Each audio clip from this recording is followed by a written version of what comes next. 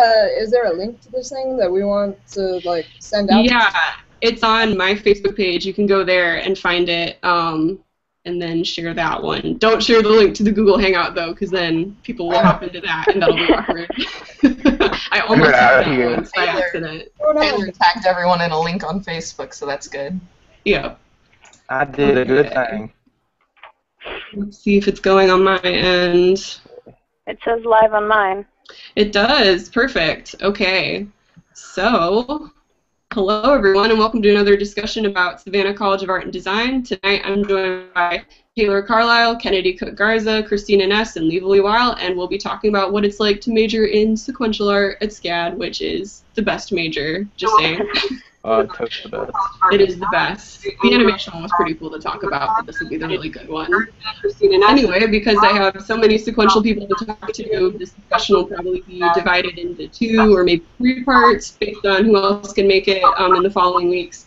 So, as usual, I'll be asking um, some questions, and then we'll move over into a Q&A session afterwards. So, um, during the this thing. If you guys in the chat have any questions, you can um, type them over there and I'll get to them later, but otherwise, I think I'll have my guests introduce ourselves. So, um, let's see. Who do we have here? um, don't if you guys want to go ahead and introduce yourselves, tell us who you are, uh, when you attended SCAD, and maybe what you're currently working on. So we'll go alphabetical. So I think that was Taylor, you're first. Oh snap. Okay. Uh, my name's Taylor Carlisle. I graduated in May of 2014, almost two years ago exactly. Um, and I'm currently working on. I have a Kickstarter going right now for a comic book project I've been working on for a while. I'm. It's kind of pointless to talk about it now because it's going to end in 70 hours. But um, I guess if you wanted, we could post that in. I could post that in the chat if people are interested. Yes, do it. Let's Don't give do up, it. man, because the Mystery Science Theater one got like the other million in the last couple hours, so there's hope. So, there we go. All right, there. Oh. Oh, I can't. It says remove any web addresses and try again. Oh well. Okay. oh, whoops. I'll get it to everybody. Thanks, but, YouTube. Okay. Thanks, YouTube. um, and then Kennedy, you go next. Oh, except you're muted. Oops. Let me. There you go. Good. No. Yet. Yes.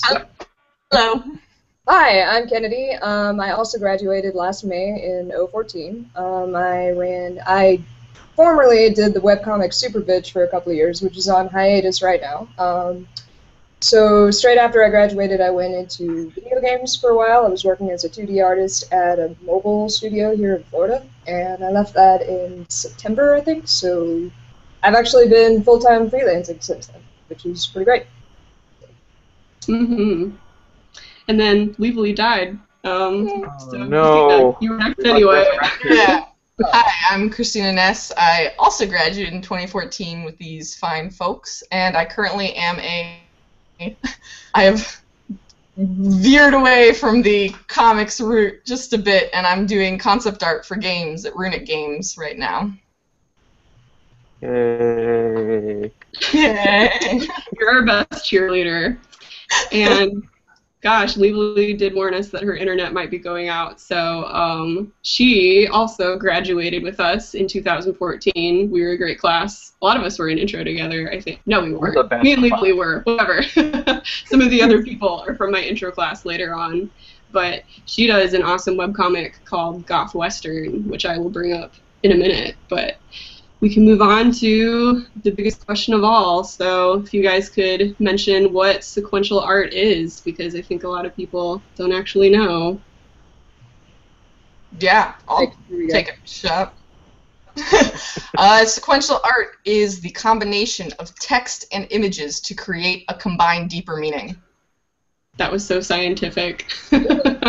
You should have like a lab coat and a That's how I whiteboard. explain Yeah, I like it. Yeah. I always, I always explain it as just, it's just like a really fancy way to c- talk about comics and stuff. I mean, it's it's evolved since then, but that's why it was created, right? It was like Wa- like uh, was it Will Eisner? He was like, no one's gonna take it serious if it's called comics. Let's just call it sequential art. But it's it's evolved beyond that because now you have concept art and storyboarding. But yeah, Mhm. basically what Ness said. I'm gonna I'm gonna leapfrog on that. Yeah. I want to go ahead and agree with that. My uh, running gag that I kept telling people when I was actually going to school at SCAD is that uh, I'm going to school for sequential art, which is an extremely pretentious word for comics. Um, but obviously, you know, that it, had, it has evolved to apply to a lot of things, kind of like storyboarding and um, concept art, like they said. Sorry, um, my screen keeps slipping. I have the Cintiq. Oh, I wondered. And then, yeah, the front-facing camera is like, uh, if it's just on its stand regularly, it's like staring straight up into the ceiling. So I Oh my god, leave Elise back. I made She's it. back. I to my phone. I'm sorry. No, it's okay. We were All just doing technology near um, not working. we were doing introductions, and I told them about your Goth Western comic, which is super cool. So Oh, if there's anything you. anybody else should know about you, let them know. Uh, Gosh, what are the what are the things we're supposed to say for oh, just um, I mentioned that we graduated at the same time. So um, what are you currently working on? Um, well, aside from Goth Western, not a whole lot. It kind of takes up all my free time. I work at a pawn shop and sometimes do comics about that. Um, and a little bit of freelance illustration here and there. Do You have fun pawn shop stories. I follow you on Twitter, and your Twitter, your tweets about your pawn shop I have too many. Too many pawn shop stories. Yeah, every, everybody follow Livali on Twitter because it's like a bunch of like out of context quotes that I'm very confused about. But all right, good. I hope your internet hangs in there, but we'll survive Yeah, the tech should- issues. Be better on this one. Okay. Um, so when you guys applied to SCAD, did you know right off the bat that you wanted to major in sequential art, or did you find out more about it later and change your mind? Let's go. I knew right away. yeah. yeah. Yeah. I wanted to do comics since like third grade. Like I was drawing and writing not not good stuff. But uh, I went to SCAD for comics and then found out there was a concept art minor and the, the two go hand in hand in my opinion for me. So Yeah, I'm pretty much the same way. Like, I went to SCAD. SCAD was my only real one that I wanted to go to. Like, I had looked at like a couple others, but since they didn't have anything even really related to comics, it was a lot more fine art stuff. And then I was like, SCAD has sequential art. It's like, all right, so that's basically the, my only option, and I'm glad, you know.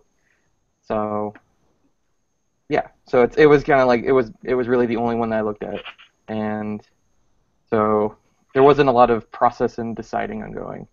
So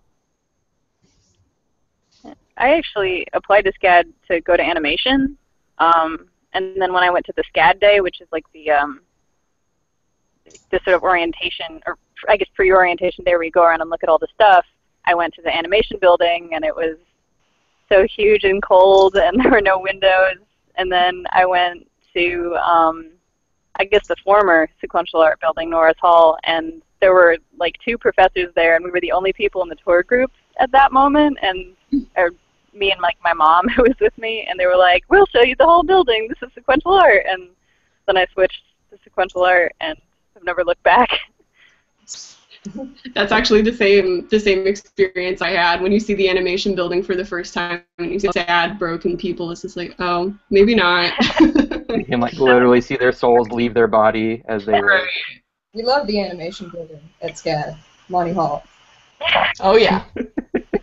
Um, no, it was the same thing with me. Uh, sequential art was uh, the major that drew me to SCAD at first, um, but ironically, I ended up going my freshman year into illustration for whatever reason, and then switched to sequential of my sophomore year. So, but yeah, it was, it was definitely what like drew me to the school. I think. Yeah, because I wanted to do animation too, but I, I think a lot of us dabbled maybe in other things first, um, and then switched over later. I think, though, there were a lot of people in intro that stuck with it through the whole thing. So, comics is fun, guys. We promise. um, so the foundations courses that we start with in the curriculum, um, did you guys think that they were really helpful, or did you think they were kind of boring because you've had a lot of experience drawing before that? Well, I know like we all have like different opinions based on who we had for like intro to se- to sequential. Yeah. Like, did you did you like having Jancy? Jancy? I did. It was a great class. It was really challenging though. Well, Yeah, because I've heard people say that like they didn't like Ralph, his, his intro, but I like that Jancy had us use like the actual the tools because some of the people I knew in different classes were working with like sharpies, and Jancy was Mm. like, "Here, use like a nib pen and do all this stuff." Although he didn't tell us how to clean our brushes properly, which is a thing you should know before you use a brush. yeah. Lisa, are you talking about uh, like foundations classes for sequential or foundations classes Oh, like I was talking about before you take any sequential classes, actually, okay. not even intro. like drawing yeah yeah Well, I'd throw say, my uh, my response out the window. that- No, that's were- the next question. So. Oh. should go through them. Uh, I got into SCAD with like a lot of IB credit, so I got to skip I think like design one and drawing one. Um, but other than that, color theory, eh, it really depends on like what professors you have. But I'd say don't lament them. I don't know if we can curse on the stream or you want us to curse, um, but do not complain because then you're not learning. Just buckle up, buckle down, do some good stuff, and uh, Mhm. look forward to the intro classes. hmm Yeah. you learn some good skills, I think, but like for me, it was hard because it's a totally different way of drawing than I was used to. Because like, like in drawing one, you're supposed to you know stand an arm's length from the easel with your charcoal, and I'm used to drawing like all hunched over with my hand. So Mhm. I mean, it's definitely I don't know mind widening. I guess I I didn't super like foundations, but I mean, I don't regret taking. Yeah, I'd probably say the same thing. Um, to actually answer the question you asked instead of what you skipping ahead. Um, yeah, like it, it gives you a new perspective. It, it challenges you because you're not used to doing stuff the way you know you're used to. So I guess from that perspective, they're helpful. Because I remember in drawing two, like where we really buckled down on um, charcoals and pastels and stuff like that, and I liked I like life drawing. Like life drawing is probably my favorite of the foundations, if that still counts. That's like drawing three, isn't it? Yeah, that still counts. Kind of. Yeah. So that was that's probably my favorite one because it's like you know just drawing people and stuff, and then then you take um, that one class with Dove. I it was an elective I took, which was about it was human anatomy and stuff. So it was like you know a continuation of that and applying it to sequential art. So it was like a nice prepper course for it. So Um, my situation was about the same thing. Um, I mean, I enjoyed the foundations. I feel like uh, some of the really early ones can be a little rudimentary for you, like drawing one or you know design one. Like a lot of people skipped out of those, which I didn't find out you know until I was well into most of my foundations. But it's like for kids that you know drew through most of their high school, it's like, and I know it depends on what professor you have, but like I felt like a lot of them were kind of. Eh. I mean, it's good to brush up on those skills, but it can be kind of, you know, it's definitely see if you can test out of it and save you some money, like five hundred dollars or so.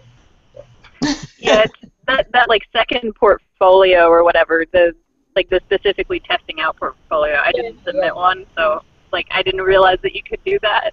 I Yeah, guess. I didn't think you could do that either. So Oh, I heard about that last minute, and I'm glad I did because I jumped ahead. Um, actually, if you do that, though, this is a warning to anybody else. Um, AP credits, when they transfer, you have classes um, already checked off the list. If you do a secondary portfolio instead of AP, that's not the case. They waive the class, but you need to pick out a substitute. I did not know that. So it's senior year, Ah. and they were like, "Hey, do you want to take, you know, your foundations elective that you're missing?" And I'm like, "Don't make me do drawing three or something. I'm a senior. Are you kidding?" Oh, But I took a sketchbook class, and it was one of my favorites. So if anybody has the opportunity to take sketchbook, it's a good one. It's like a This- random foundations elective you can same, do. Same, same thing happened to me. Senior year, they're like, "Oh yeah, you have this drawing one elective you need to make up," and I was like, "Uh, But at the same time, I was able to work with my academic advisor and just take a SEQA elective class to like stick it in there. So Really? They wouldn't let me. That's interesting. really, oh, I I was friends with my academic advisor. We we met all the time because I was obsessive. You had an in, Ness. You had an in.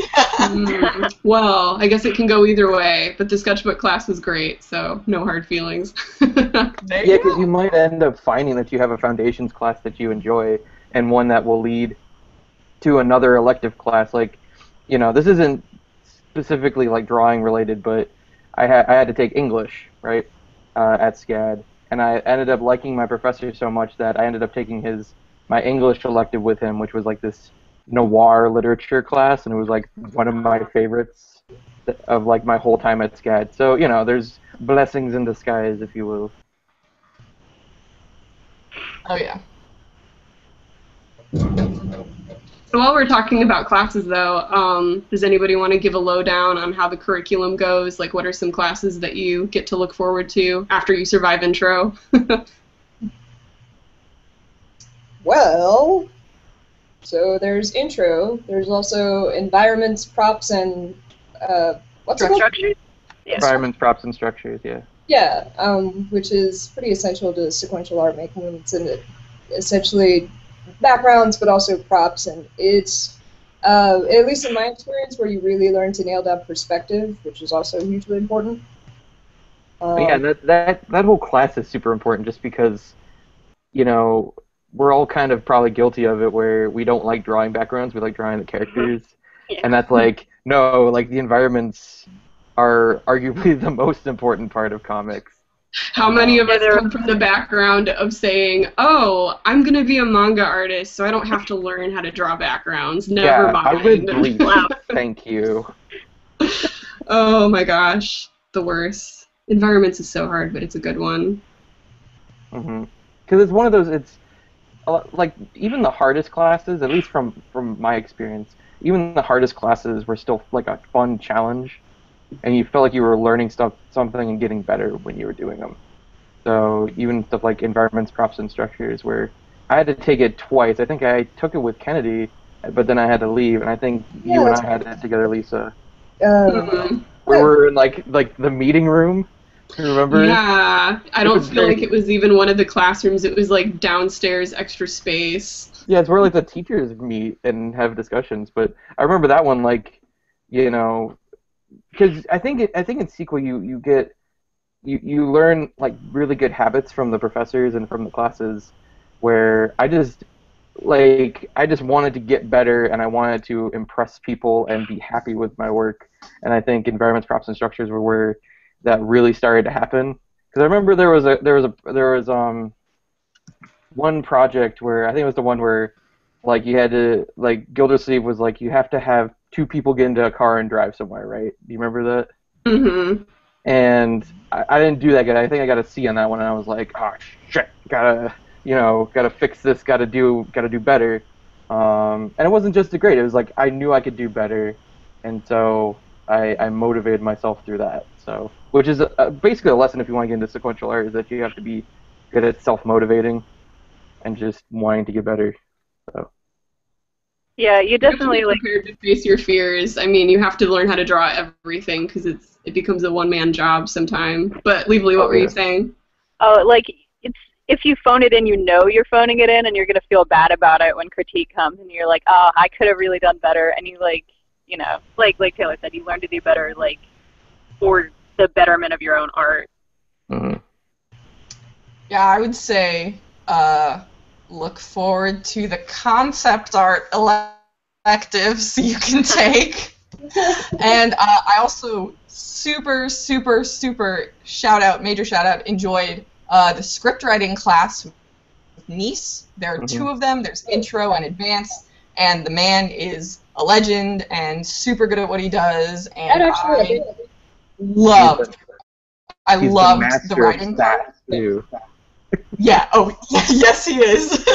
Sass Master Supreme, Mark Kneece. and He's my just- favorite. He's like the war veteran who's seen everything, and he's fantastic. bitter, He's really dangerous, but you know, you know, Love him. Yeah. He'll be he'll get a script in a class that's like clearly like a Sonic fan fiction, and he just gets like a thousand yard stare. Yes. He's like one of the first teachers to crush your weeaboo spirit. Like he really is. I don't even crush it, just, like like so quietly funny. strangle it. And when he like listens to your Sonic the Hedgehog pitch, and then he like slowly folds into himself, and he's like, "Ugh, stop." the biggest problem is so many kids, and I'm sure we will address this many times over by the end of this talk, but so, so many kids come into SCAD being like, well, I have this 300 and whatever page chapter story that I've been writing since I was 12, and just you wait, let me tell you all about it. And no, no, no. It's is here to say your space operas. Are we allowed to curse? Are we... just tell bite-sized stories and if you want to tell the story tell it in the correct medium and listen to Kneece he will help you understand and see the light Yeah, Exactly. because that's that's another thing I've really gleaned from the the course is just how to compress storytelling. Because yes I think um, it's just so common for people to just want to like like stretch it out over like ten pages when it could be five six pages. And I think I read on I think it was from like Reilly Brown, who's uh, a professional artist working on. He did like Deadpool and stuff. And I think he he had this great bit of advice where you know when you do a pro a, a project, make sure that the it's probably best that the page count doesn't surpass the amount of pages you've made previously combined.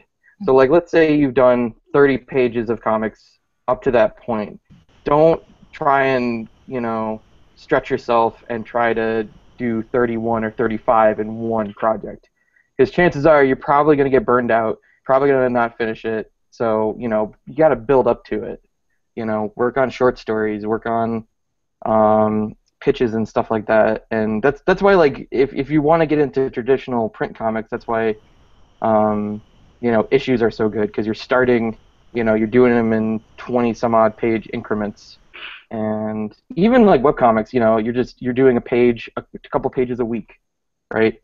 So you're you're never gonna really get, you know, burnt out doing that because you got all this time to plan, all this time to prepare and stuff like that. So well, Mhm. I mean, you can still get burnt out doing that, but you know, you'll know what you're doing at least a little bit more. Doing, you know, starting out with smaller chunks as opposed to immediately tacking your 300-page space opera comic in. Yeah, you gotta know how to pace yourself. And then you might even find out that you don't really uh, work well with the rigors of what comics um, ask for, and that doesn't have to be a bad thing. Because honestly, that's what I settled with myself when I decided not to do animation. I'm thinking, what this is going to demand is not something I want to offer. So if you don't like drawing or you don't like um, drawing every little thing and putting everything in an environment and writing out the story, if there are parts of it that you don't like, you can get around some of it and like team up with people, but at the end of the day, there's no weaseling out of it. Like you said, Livali, if you phone it in, like people are gonna know. So I was wondering what were some of the electives that you guys took um, in the sequential department. So that's mention the concept art elective on Whose Shoes They Say.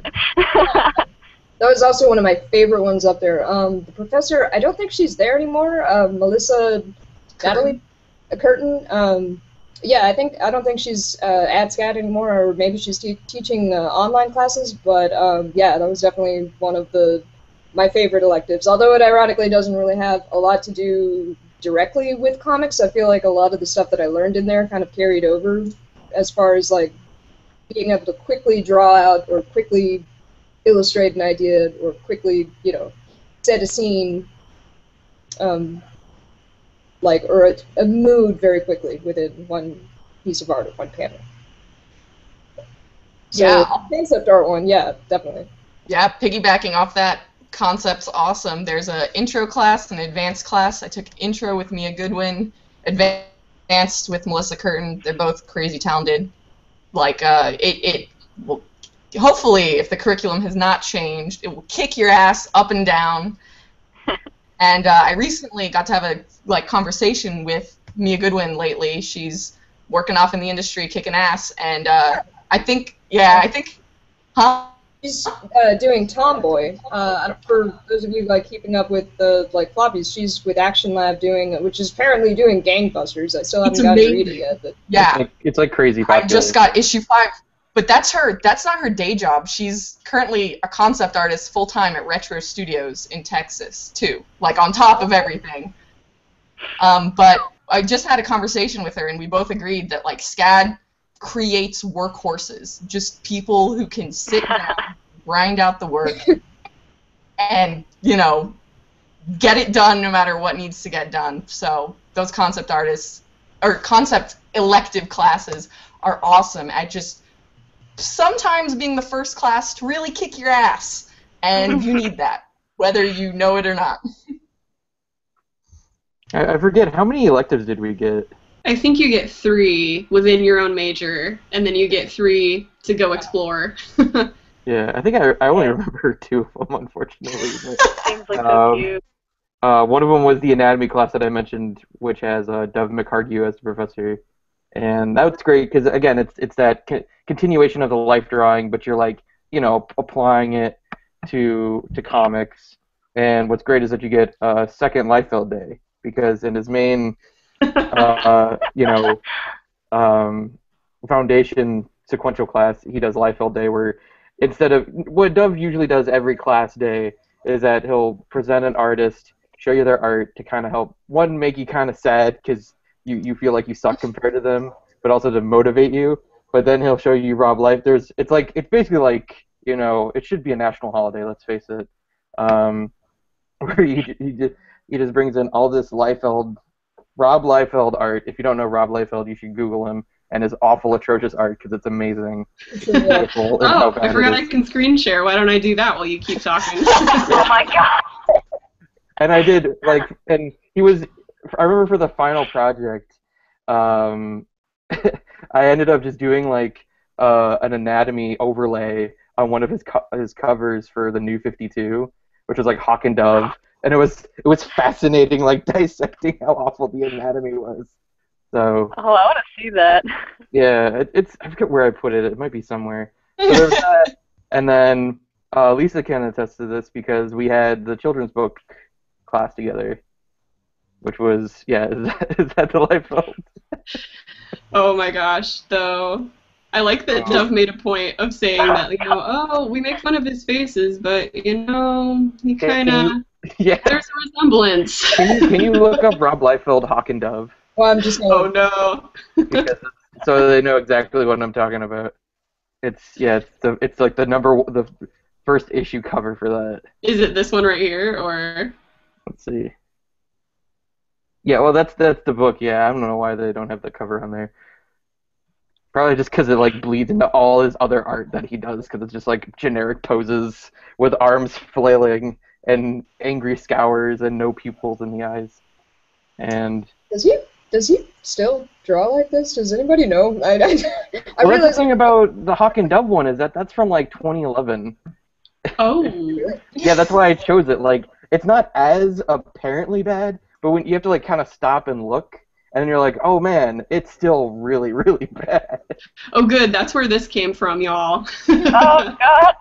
yeah. okay, we're gonna look at some good art now. We're gonna look at your guys' stuff. Keep talking. Oh.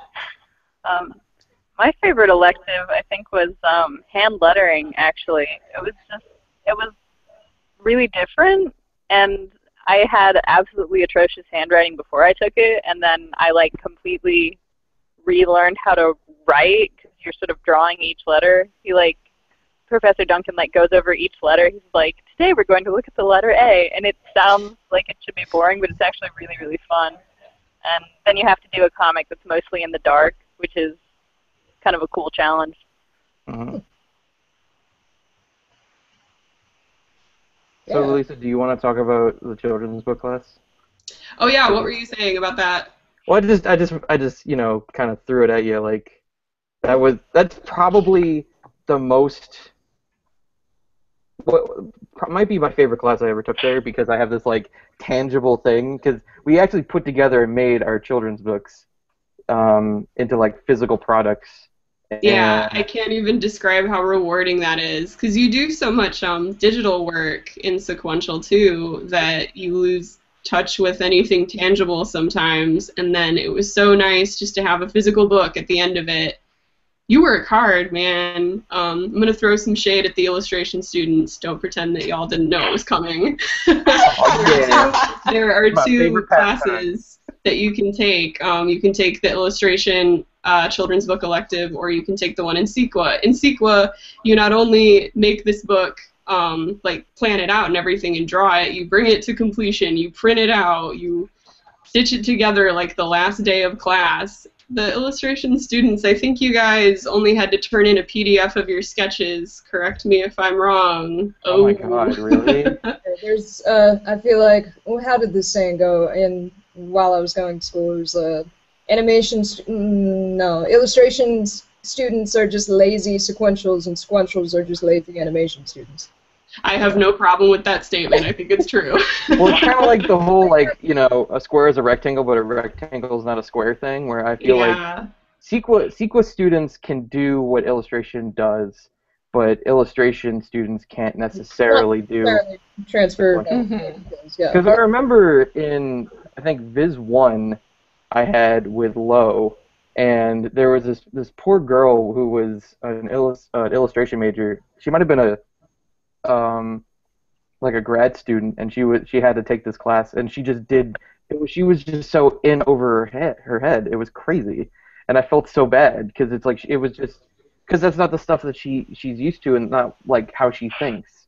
You know, you know, you just it's just a different mindset and way of thinking and storytelling and stuff. Yeah, which storytelling, I feel like that word is key because I think that might be like the main difference is that, um, I mean, you can be a really fantastic artist technique-wise, but that may not necessarily make you a good sequential artist because, I mean, the act of storytelling, like, there's a lot more to it than just pretty pictures, essentially. It's Mhm. like having it flow from one panel to the next coherently, you know, um, is stuff that you learn in sequential. Is stuff that you mm-hmm. learn when you get stomped all over by Professor Kneece, your first. Crushes your Well, I Wii also- fantasy. I- so I also think that jumping off of that, like storytelling not only is the key word in the difference between kind of the majors, but also comics and sequential art is so psychological, and readers don't even know like that they're being led through a Mm. story, and you artists need to understand. Or, or just as a visual designer, need to understand how to convey a story visually. Yeah. Sometimes often without words and lead them, maybe lead their eye through a scene, and that doesn't really get taught in like traditional fine arts. Um, Very That's why- unique. That's why sequential. perspective's so important because Yeah. it's like Lowe said, it's all about the diagonals, and I, I, I always use that like all these diagonals to lead um, the reader's eye, Aye. yeah, to lead the eye. So you should like Lisa, you need to like look up a picture of Lowe just so people know who this man is. just, Like, just add him on Facebook. Everybody in the chat, you don't know who he is, but just add Lowe on Facebook. You will not regret it. No, did you guys ever play the ga- game that was like find Lowe in Norris and you just go quiet and listen for the yelling? Oh, oh yeah. Oh, that's great. Oh. Yeah. Following voice that's like. Yeah. I remember like I, I I, would probably be on like two floors now. ahead of like I'd be like down the hall from him, be like, Hey Taylor, how's it going? That's how hear him and it would just resonate through poor old Norris. My favorite Lowe story is I had him at 8 a.m. for an inking class, and um, he just has no indoor voice, you know. I hope he's watching this right now, by the way. But he's sounding all the time, and that has to be a strain on his voice. And then he was telling us some story about, like, how his doctor said that, like, he should not yell all the time or something. He's just like, I think something's really wrong with my throat, but he's screaming while he's saying it. We're just like, take it easy. It's okay. how I talk. Zero chill. Oh, I'm looking at the chat. Your mom said something really sweet, Livali. Aw.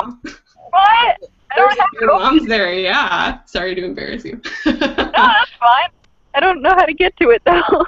oh, if you click the, the link on my uh, Facebook page, you should be able to see it. oh Yeah. wow, my phone is really hot. But anyway, we have too many too many professor stories. That could be its own segment. Yeah. Um, with classes though, what one do you guys think was the most challenging, and then what was your favorite? The two can be the same, maybe. Probably not though.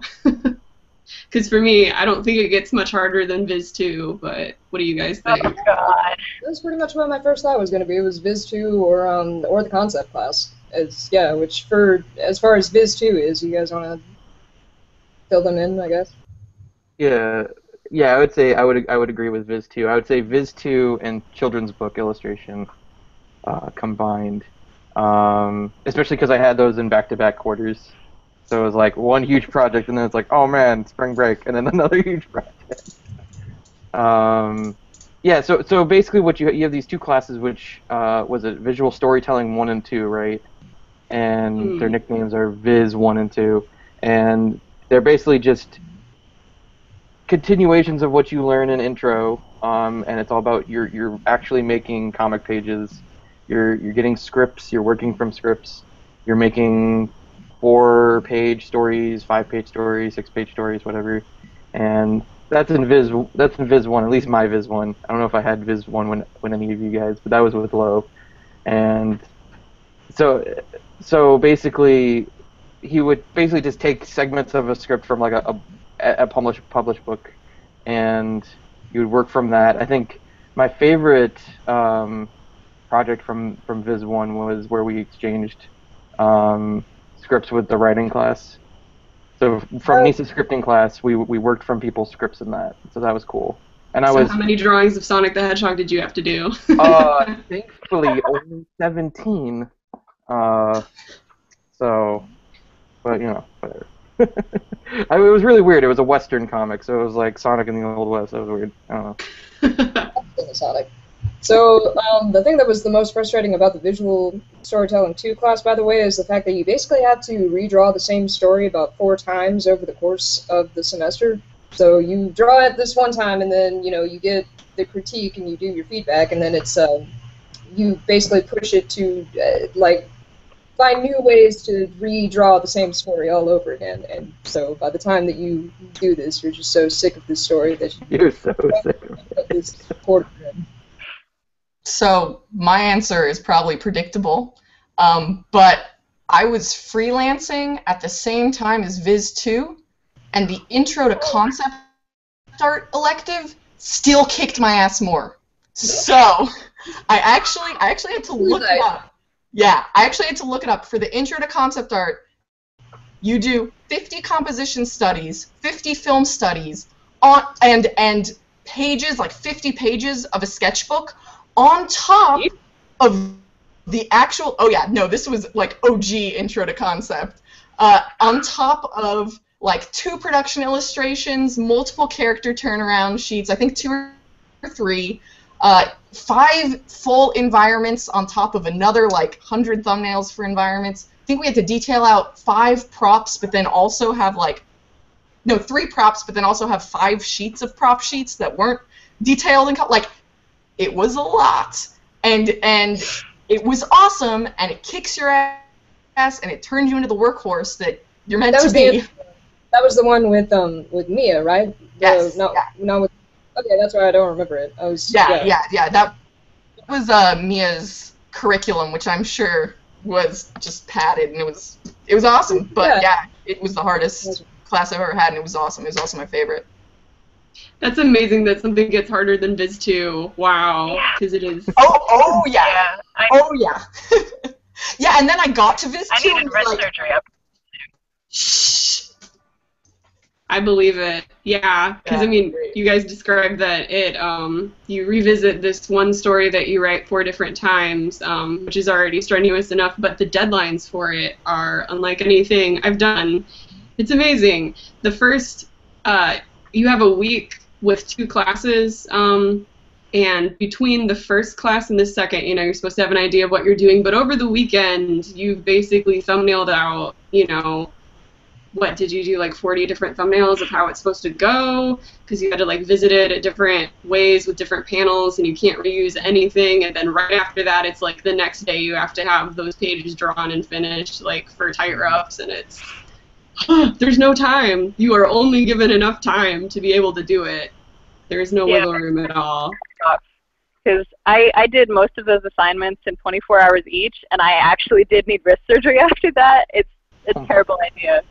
Like, get time management early and like figure out your limits.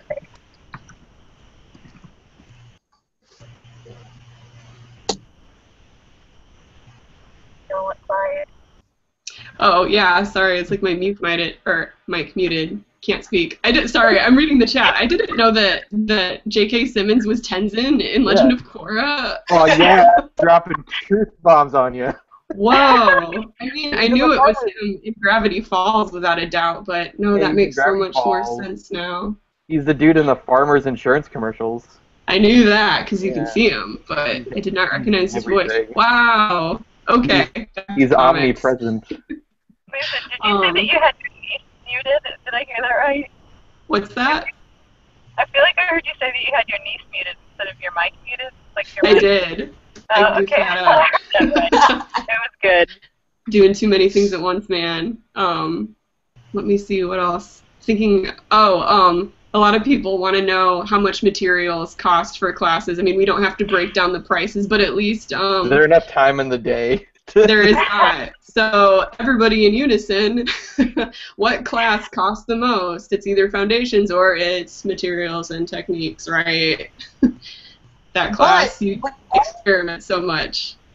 Yeah. but all the stuff you get for materials and techniques, you use for every other sequential class following it. So So it's, mm-hmm. you know, you, Yeah, it's kind of like the class that you take to just build up all the stuff and learn how to use all the stuff, and then you apply that stuff. So I would say I spent way more on like foundations, like charcoal and paper, yeah, and like the good. Like I was very picky about my Bristol board, so I probably spent more on Bristol boards than like, you know, the ink and materials and stuff. But you Mhm. just you have to make an investment and then you use those materials like and buy the good stuff don't be like if you can afford it like really don't be cheap about it because then you learn with the good stuff and while you might think that's a waste it's really teaching you more and you'll be maybe more careful with it so it carries you through the rest of your classes in at SCAD and then possibly into freelance that you'll maybe be doing at the same time or doing after graduation. Like it's an investment and you just sometimes have to suck it up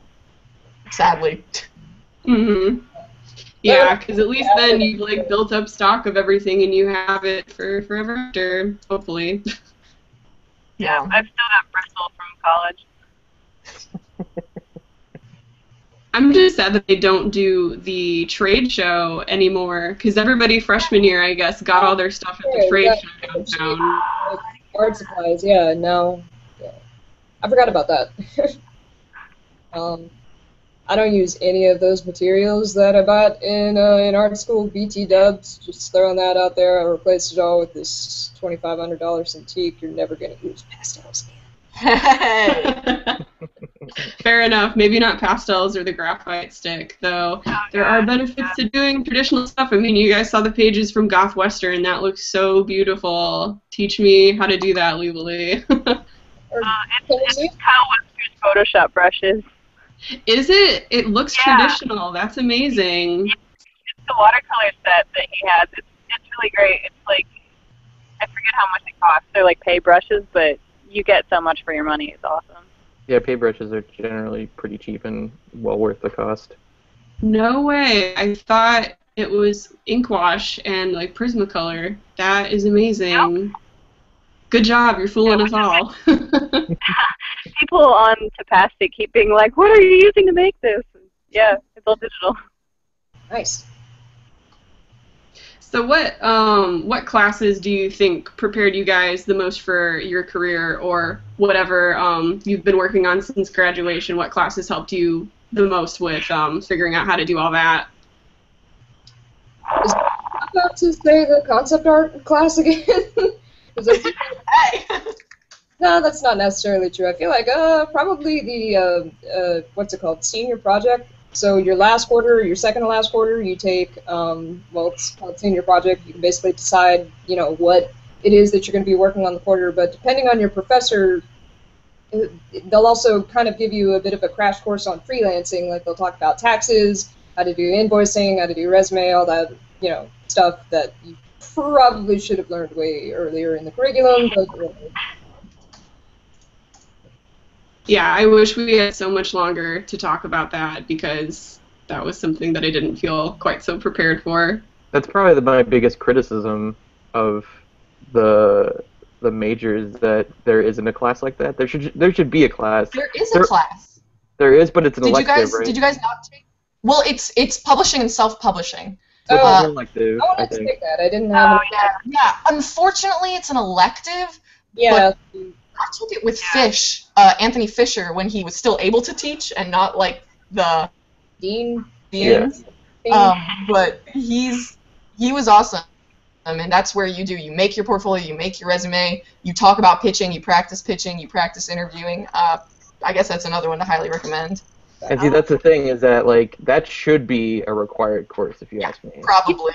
I really know. feel like yeah, at least you know some kind of basic semblance of uh, self-employed crash course of some kind. Yeah, that should be like just a freelancing class, like how to how to balance your budget and potential thing. Like I mean, like a art school thing in general. I feel like there should be a bit of a more focus on that. But well, you can even go back to like high school and how we don't know how to like do. I don't know how to do my taxes, but I, I know I can quote you some Pythagorean theorem. Mm, I love me some algebra. exactly. I think maybe the reason it ends up that way is just with our major, there was so much material we had to get through, like so many stepping stones of classes that there's no more room to fit in like one last class. So I guess that's why they made it an elective because it's like right Yeah. before senior project. Ideally, aren't you taking one of your electives and then um, Viz 2 or something like that. So there's no tapering off point. You like hit the brakes and slam into senior project and then you fall off the cliff. So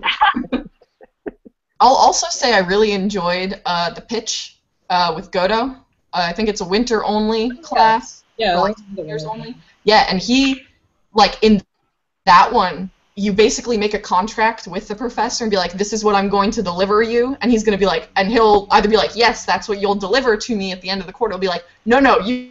You need three times that much or twice, you know. So you work out kind of your own curriculum, and it lets you basically be like have the time in your student schedule to be like, oh my God, this is what's missing for my portfolio. This is what I'm going to do this quarter. And uh, I mean, a lot of my advice is just talk to your professors and like work with your professors because they've seen it all before, they've heard it all before. Many of them have been through it all before as students.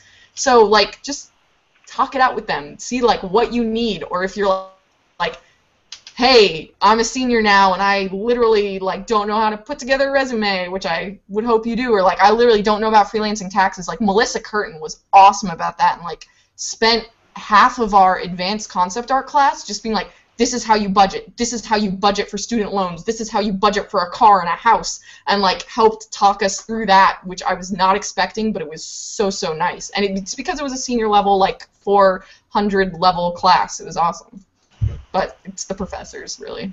Well, that's the thing too. Is that what's great, and I'm sure this is probably true in a lot of other majors too. But you're gonna basically have a much deeper relationship and friendship with your with most of, if not all of your professors. It's, I mean, it's not like high school where you just kind of go in, you do your thing, and you leave. Like, no, you. It, it's part of the networking aspect too. Is that you know, I think I like to think that the price tag of SCAD, which I mean, you could debate about if it's worth it or not till your face turns blue, but I think you're also paying for the for the experience and the networking aspects you get. Because I mean, look at us. We're all classmates. We're still talking to each other two years later. you know, so you're building, you're networking great, and you know, you build friendships and camaraderie going into different industries that you're going to maintain for as long as possible. And the same, like, I still I still talk to my professors when I was working on Skeleton Bay Detective Agency, which was the Kickstarter we mentioned way back when. Um, I sent stuff out to you know John Larison and Kit Seaton and stuff like that, and get their opinions on it. it it's really no different because you know now you're kind of their peer. Now that you're graduated, you know you're working in the industry, so you're their peer. They they're there to help you even though you're not their student anymore.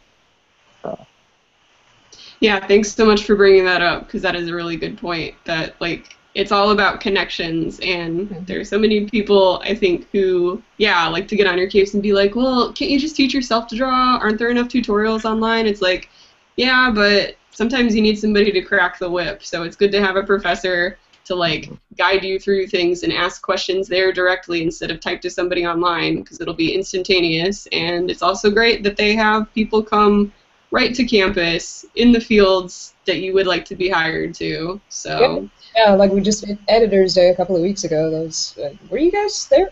Any of you um, at the Editors Day? Didn't make it down this year, but it's always a good experience. Yeah, it, there's some other regrets. I, I feel like I didn't take full advantage of Editor's Day, and I feel like I did. I felt like personally I got kind of screwed over in my senior Editor's Day because I only got to see two people um, instead of three. Because I think, and it just happened. You know, I think the third person I was supposed to be with canceled, like the second day or whatever. So it was like, but I was bummed about it, and but yeah, like Editor's Day, even even if and, and part of it too is that I, I started I took intro later than most people. So by the time editor's day was coming I really didn't have anything worth showing. So I didn't feel like so really it, it really wasn't worthwhile that year, but um because I think I took intro in sophomore year when a lot of people take it end of freshman year. And and so I did it um junior and senior year. So um, but if you can, try and take it, you know, as many years as you can, and try to have work that you can show with Editor's Day. I actually Uh, should we talk? Should we talk about what Editor's Day is? Oh yeah. Oh, yeah. A little bit. I'll save a little bit though for um, I think the third discussion panel um, I'm gonna do will just only be about Editor's Day, so we'll save the big points of it. But yeah, if somebody can give an overview. Um, Kennedy. essentially, it's editors from um, some pretty major com- uh, publishing companies come to the school. They do portfolio reviews, both one-on-one reviews with you and um, group reviews. And um, so some of the ones that came this past year were like DC, um, Oni Press, Boom Studio. No wait, uh, Boom wasn't one of the ones that came, but but you get the idea. And and they get some big people. Like I remember the first year, I think it was my sophomore year or our sophomore year, and you had Marvel people, DC people, Vertigo people, Dark Horse people. Like I didn't get it. I didn't do an interview, but I did go to the panel because there's a panel too. And even if you don't have work to show them, go to the panel because it's gonna have a lot of tips and there's a great Q and A and all that kind of stuff. Plus you get to see uh, Brian Ralph be the MC. So which is always a treat. Ralph. Yeah, because even if you don't walk away from Editor's Day with something lined up immediately, the connection alone, like the fact that you met with um, this person in the industry, can be so significant. I'm really realizing that now because um, somebody came to visit um, SCAD and is now my current editor for what I'm working on. So it was just like, oh, hey, remember two years ago when you visited my college? I was the blonde girl in back being kind of weird. Yeah, let's work together. so Well, those connections can really turn into something. Even even more well maybe on the same par as making connections with the people you're showing your portfolio to you're also like showing your portfolio is a skill and you are building on that skill. And i always used to tell freshmen i don't give a damn what is or isn't in your portfolio or what you have. Just apply to editor's day. I don't care if you're like so intimidated you can't say two words good. You need to actually work on that and show your stuff. And if your excuse over and over and over and over again is just like, oh, well, it's not ready. Well, guess what? It's never going to be ready. I've been working in the games industry for three, four years. My portfolio still isn't ready. It just just show your stuff because you're never going to show it otherwise. So get your butt to editor's day. Like just do it. I don't I don't care your excuses. Notice that we're all vigorously nodding right now. yeah, just do it. Just know your stuff. That's, I confess I only did Editor's Day like um, my sophomore year, and then this past year as an alumni, I skipped out on like pretty much all of past previous years to probably to my discredit or to you know discredit.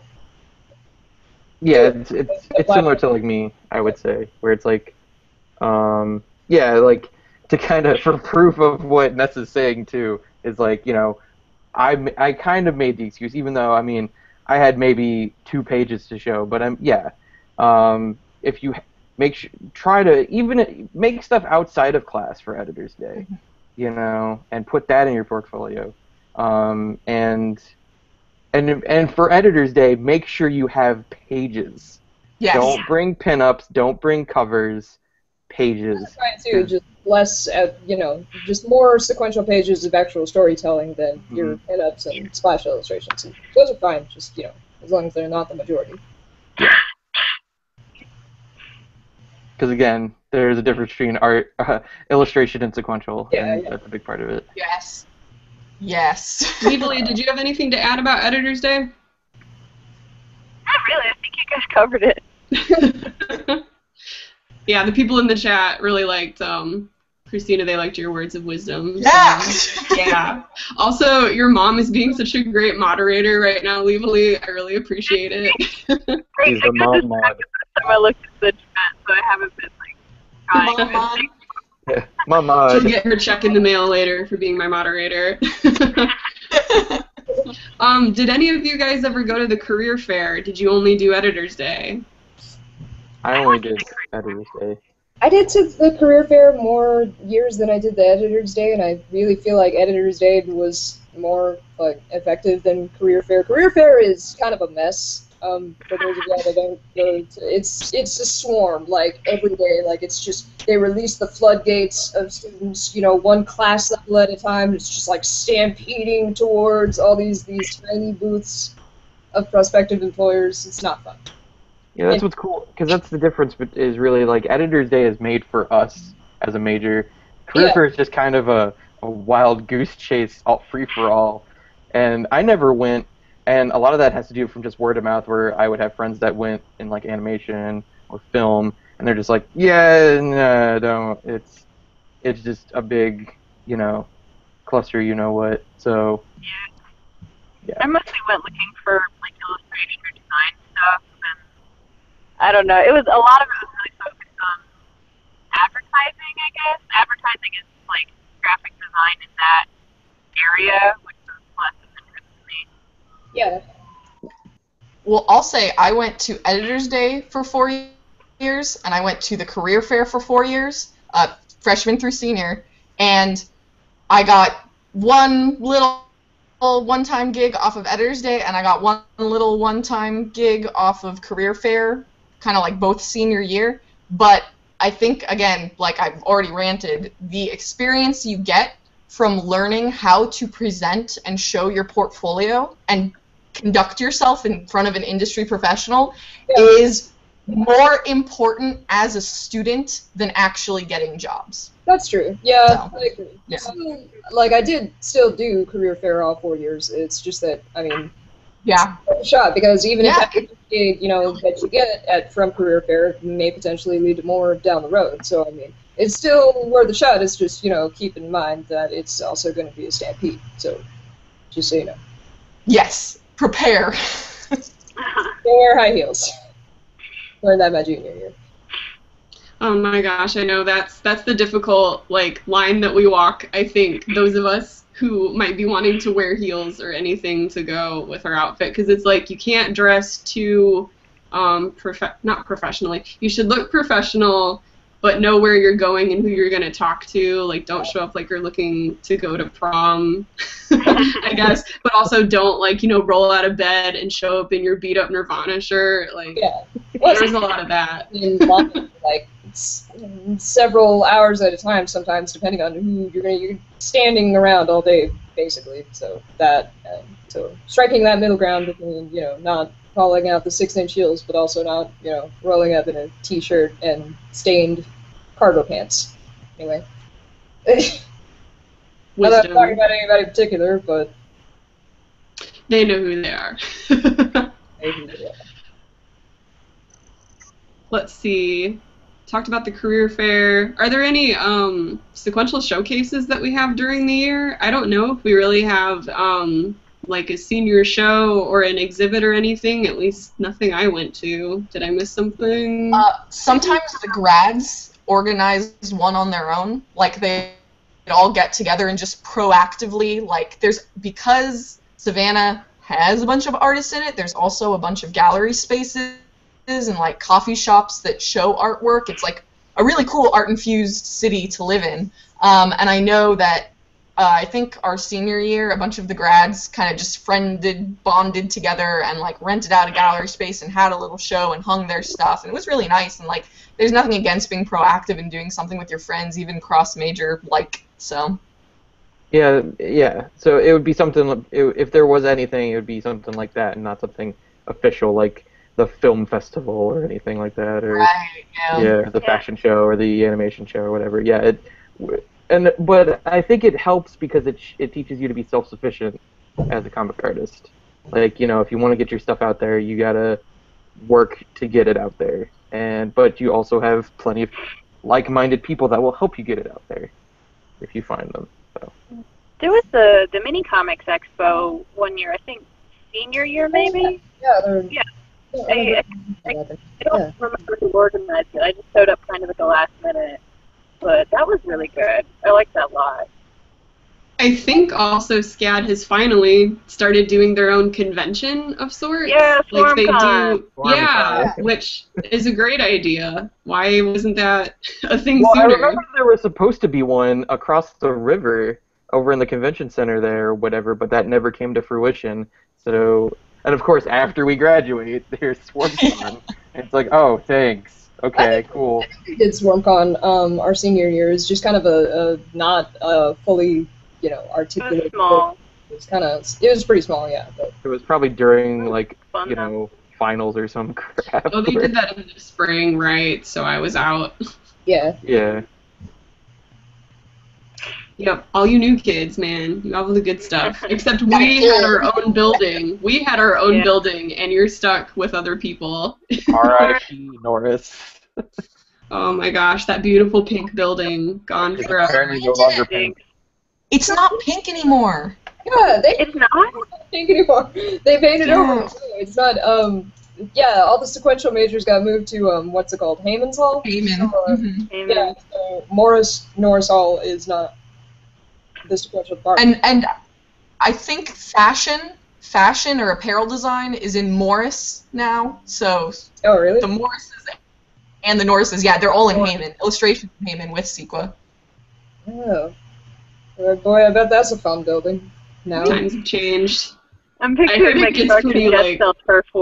Like, Yeah, I've seen like like friends of, that I know that are still at SCAD, like them talking about like the little the little like microaggressions between illustrations. For real though. Like if who anybody put wanted their to know. who put their wet like illustration piece in the scanner? You know, like. Oh.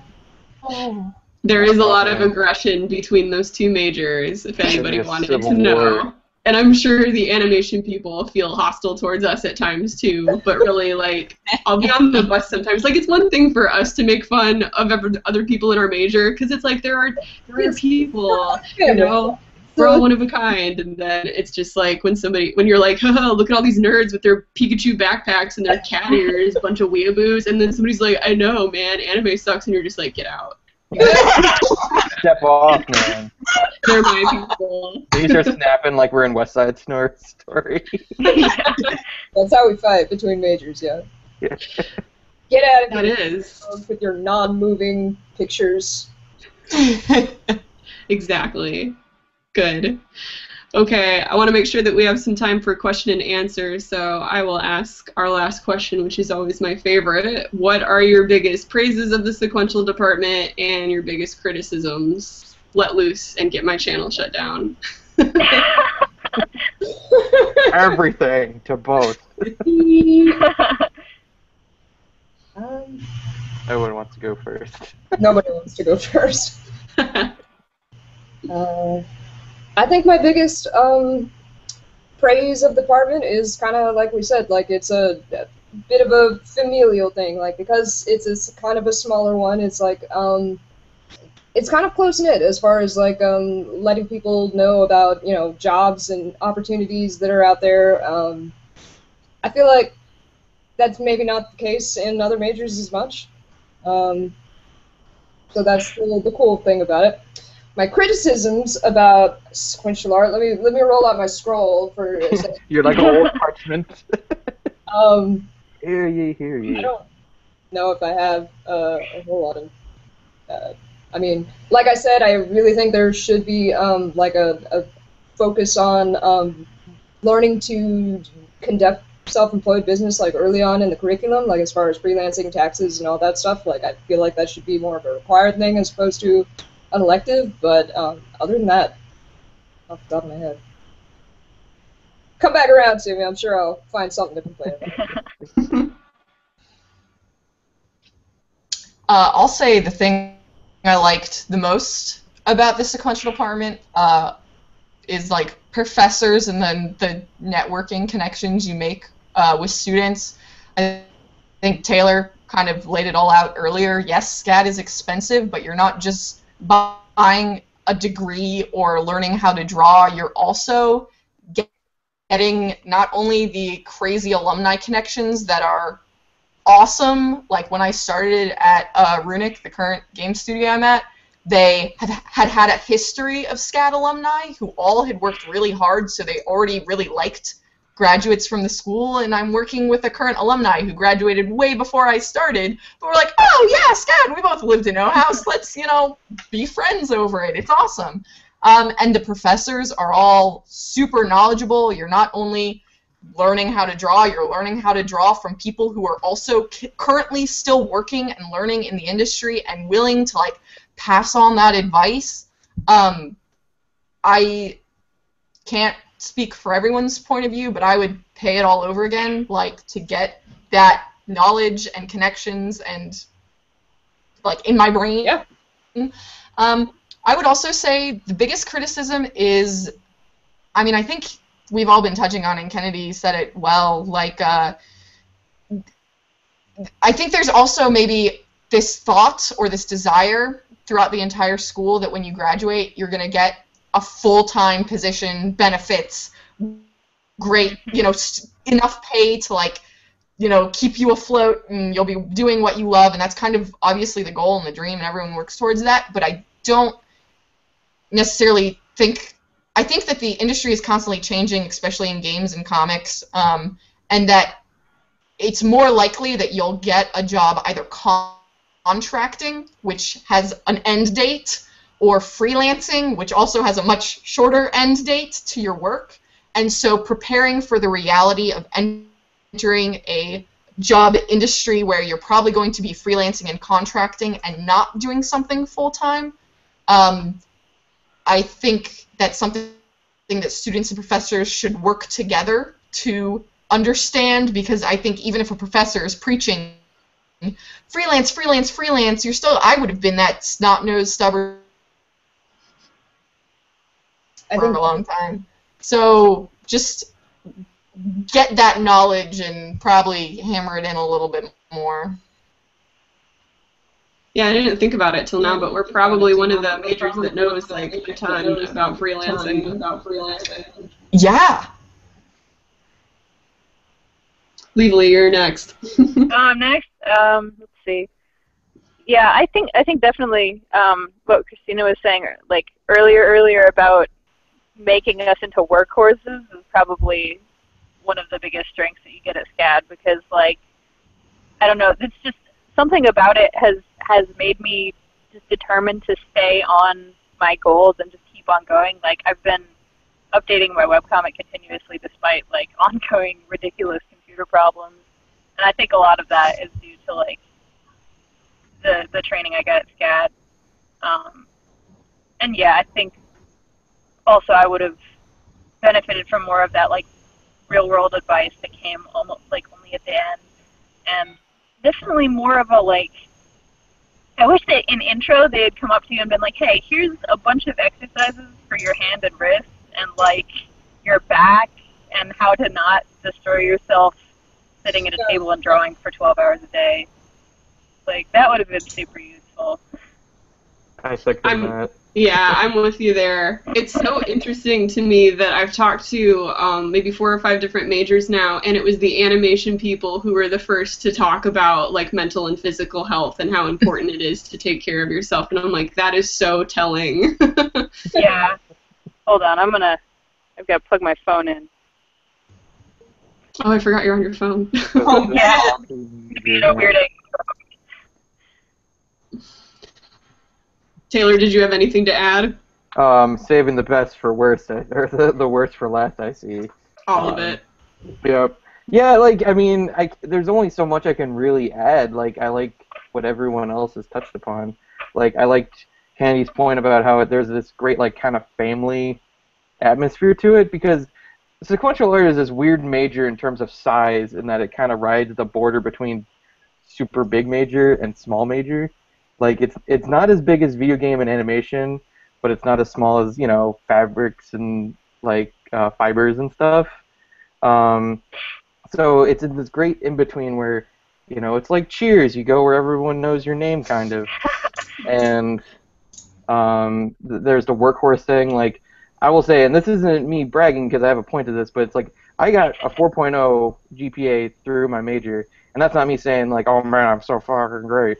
You know, it's, it's It me is, going though. like I cared enough because of the classes that I wanted to do good because I was having fun and enjoying myself, and I felt that they were worthwhile.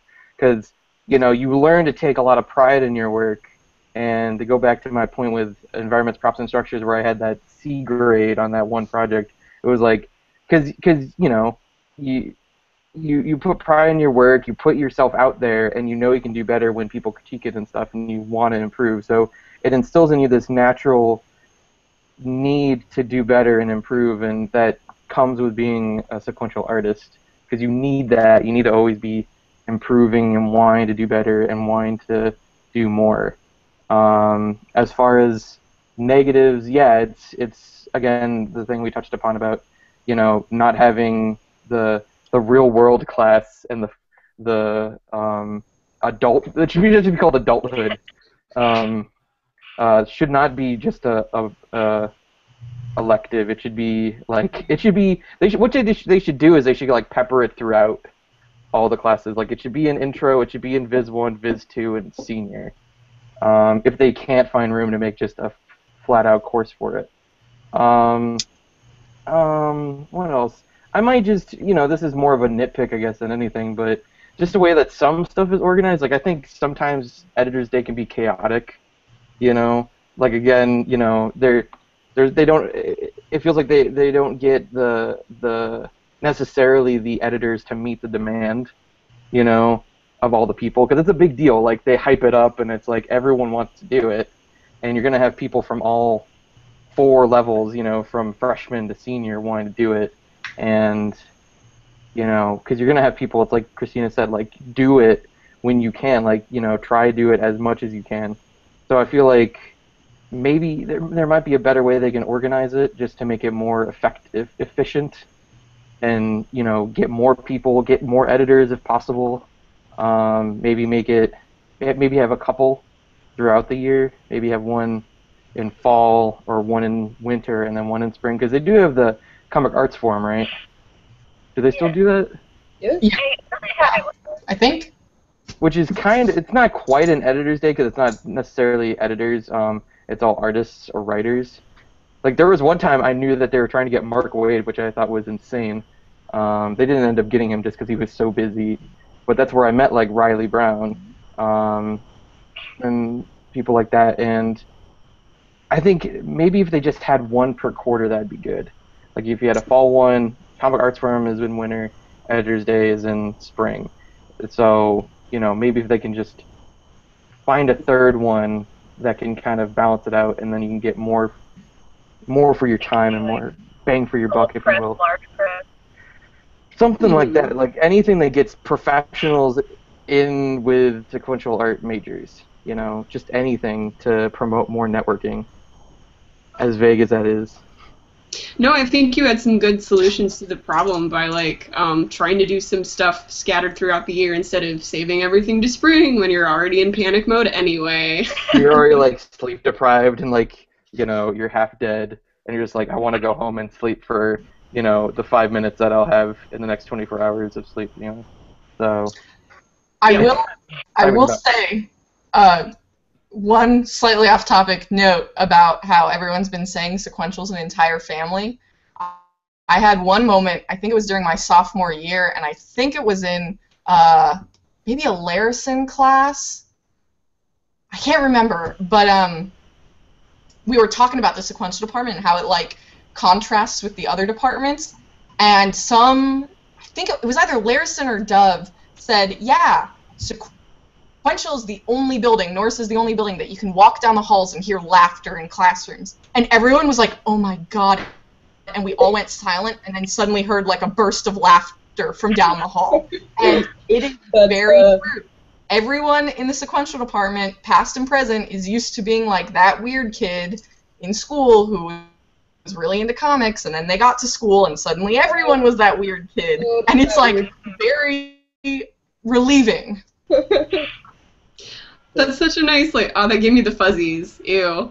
but really, like it's also the only building that you'll hear a whip being cracked and like people being chased down the Don't take that out hall, and you'll hear animal noises and just everything.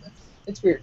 animal noises are probably low. Just to you know to clarify. Yeah, anybody shouting is John Lowe. So And you can and like what's what's cool too with the professors is that you can always just like hang out with them. Like I remember there was times where I just would go like after like senior or Viz two, I would just like go hang out with Larison and talk to him about the class and Yeah. where I'm at. Like they always promote that. And I remember like the last day of class before graduation, I had my final class. It was like five o'clock or whatever that we got out, and I just went up to Norris just to kind of say goodbye to everybody. Yeah, same. Yeah, and I was like, and like Larison, I think he was doing his maquette class, and he was like taking them apart and putting him away, and I was just like hanging out with him and talking to him, and I, you know, wanted to go talk to Dove, talk to Godo. Um, I saw Gildersleeve because, and it was really great. It was like serendipity in a way, um, where because because Gildersleeve doesn't isn't with the school anymore, and it was his last day. I think I don't think he, he's with them anymore no. he was like getting he was like getting ready to leave and Gildersleeve was kind of always my favorite just because you know he was so like outspoken and goofy and I think we had his class together actually, the materials and technique. I Mhm. yeah and um like I just like I was walking I was leaving and he was leaving at the same time so I got to chat with him for a couple minutes so you know and I don't know if you do that in every major but you certainly do it in sequential you know like i like i felt the need at, before i left to say goodbye to everybody as as much as i could. And scene Yeah, definitely. They're like such good people, and it's kind of cool to see um, like a balance between like um, well, it's probably the same with any professors. Some of them are like you know really family types, and then others are more of like you know the solo route in life. And I got like a lot of um, like balancing family and marriage advice from some of my professors, which was totally unexpected, but was really great. You know, because I was gonna get married like right after I graduated, and yeah, it's really. I think they always made me feel like um, you could always talk to them like they're not necessarily a, a peer, like you're on the same level because they are an authority, but um, you never feel like you can't talk to them. They're very welcoming, and I always appreciated that. yeah because it's So, like yeah. i said like once you graduate you're their peer essentially you know like i remember and we should probably plug this because i know kennedy you're going to heroes con right Yeah, yeah. so me and kennedy i know for sure for a fact are going to be at heroes con in, at the end of june and SCAD has a table there, and it was great last year because you know that was like the one year anniversary of graduating, and I hadn't seen everyone in a year, and it was just you know going over to the booth and saying hi to everybody. I love Heroes Con for that reason. It's kind of like a big SCAD sequential like reunion because it's so close to the school. That's still to this day one of my favorite cons. I've been doing it for about three years or oh, so. Oh yeah, yeah, yeah. Yeah, it's great because you know, because Brittany Peer, who I'm working on the uh, Kickstarter with, she's gonna be there. We're gonna be sharing a table. So yeah, it's like this big, it's like this big reunion thing. That's always fun. So Yeah. It's a pretty close community. We stick together. I think there's something about like we were all that kid that got beat up you know, right? And now Got made fun of Yeah. because of our Naruto manga. Yes. We're all that kid running to, like Naruto down the hall and being like, "You don't understand me, mom." Like, The one kid in gym. Yeah. And then suddenly everyone understands you, and they're like, "Yeah, I've got my headband in my backpack too," and you fucking high five I'm gonna it. be Hokage too, man. Yeah, Hokage together. It's awesome. yeah, it's good stuff. You're the Naruto to my Sasuke. Ew. Okay, we're done. this is shut Are down now. Thanks a lot, Taylor. I've got like a list of Naruto. Okay, so now that we're out of my good old questions, I think we'll start going through some of the ones from the this uh, the chat over here. I've got a couple, so feel free to chime in with whatever one you want to answer. Um, someone asked that. Oh, this is a good one. So if somebody wants to do storyboarding, do they do sequential art or do they do animation as a major? Equa. I think there's a storyboarding minor. Um, Yeah. I guess that doesn't probably answer the question. Do you? Don't you like? I thought you had to do storyboarding if you were in animation. Like you had to take this the elective classes. I could be wrong. I, I know they're not required for sequel. What what's always Some storyboarding works with animation. Oh. No no no! I'm sorry. I think I talked over you. I said what's always most telling to me when I'm looking at a minor. So, sequent or sorry, sequential is a major. Um, storyboarding is currently a minor, um, and concept is currently a minor. And there's a bunch of other minors. But look at where the classes overlap because there's some classes that are required for the minor. And if the majority of the required classes are animation, you should probably Probably probably just take animation. Yeah, but if the majority of required classes are sequential, you should take sequential because it ties into those concepts more tightly. Um, and I believe that both with concept and storyboarding, the majority of required prereqs or you know non-special minor classes are sequential. So you might as well just go full sequential. Yeah.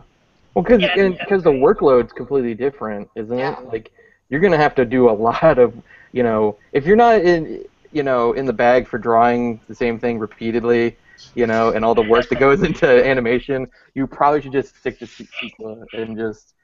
Because I, I mean, I know a ton of sequential majors that minored in storyboarding, so I still do regret that I didn't take at least a few animation classes because I feel like they really nailed like um, uh, well, I mean drawing the same thing over and over again, but I mean like uh, pumping out like a whole lot of drawing, like loose sketching within like a certain amount of time. Like I feel like I wish I had taken that um, 2D animation class or like whatever their intro. Action analysis, yeah, action analysis was Troy. I was gonna say. Yeah, that's, yeah, draw super fast forever. That one. drawing. It's just assload of drawing.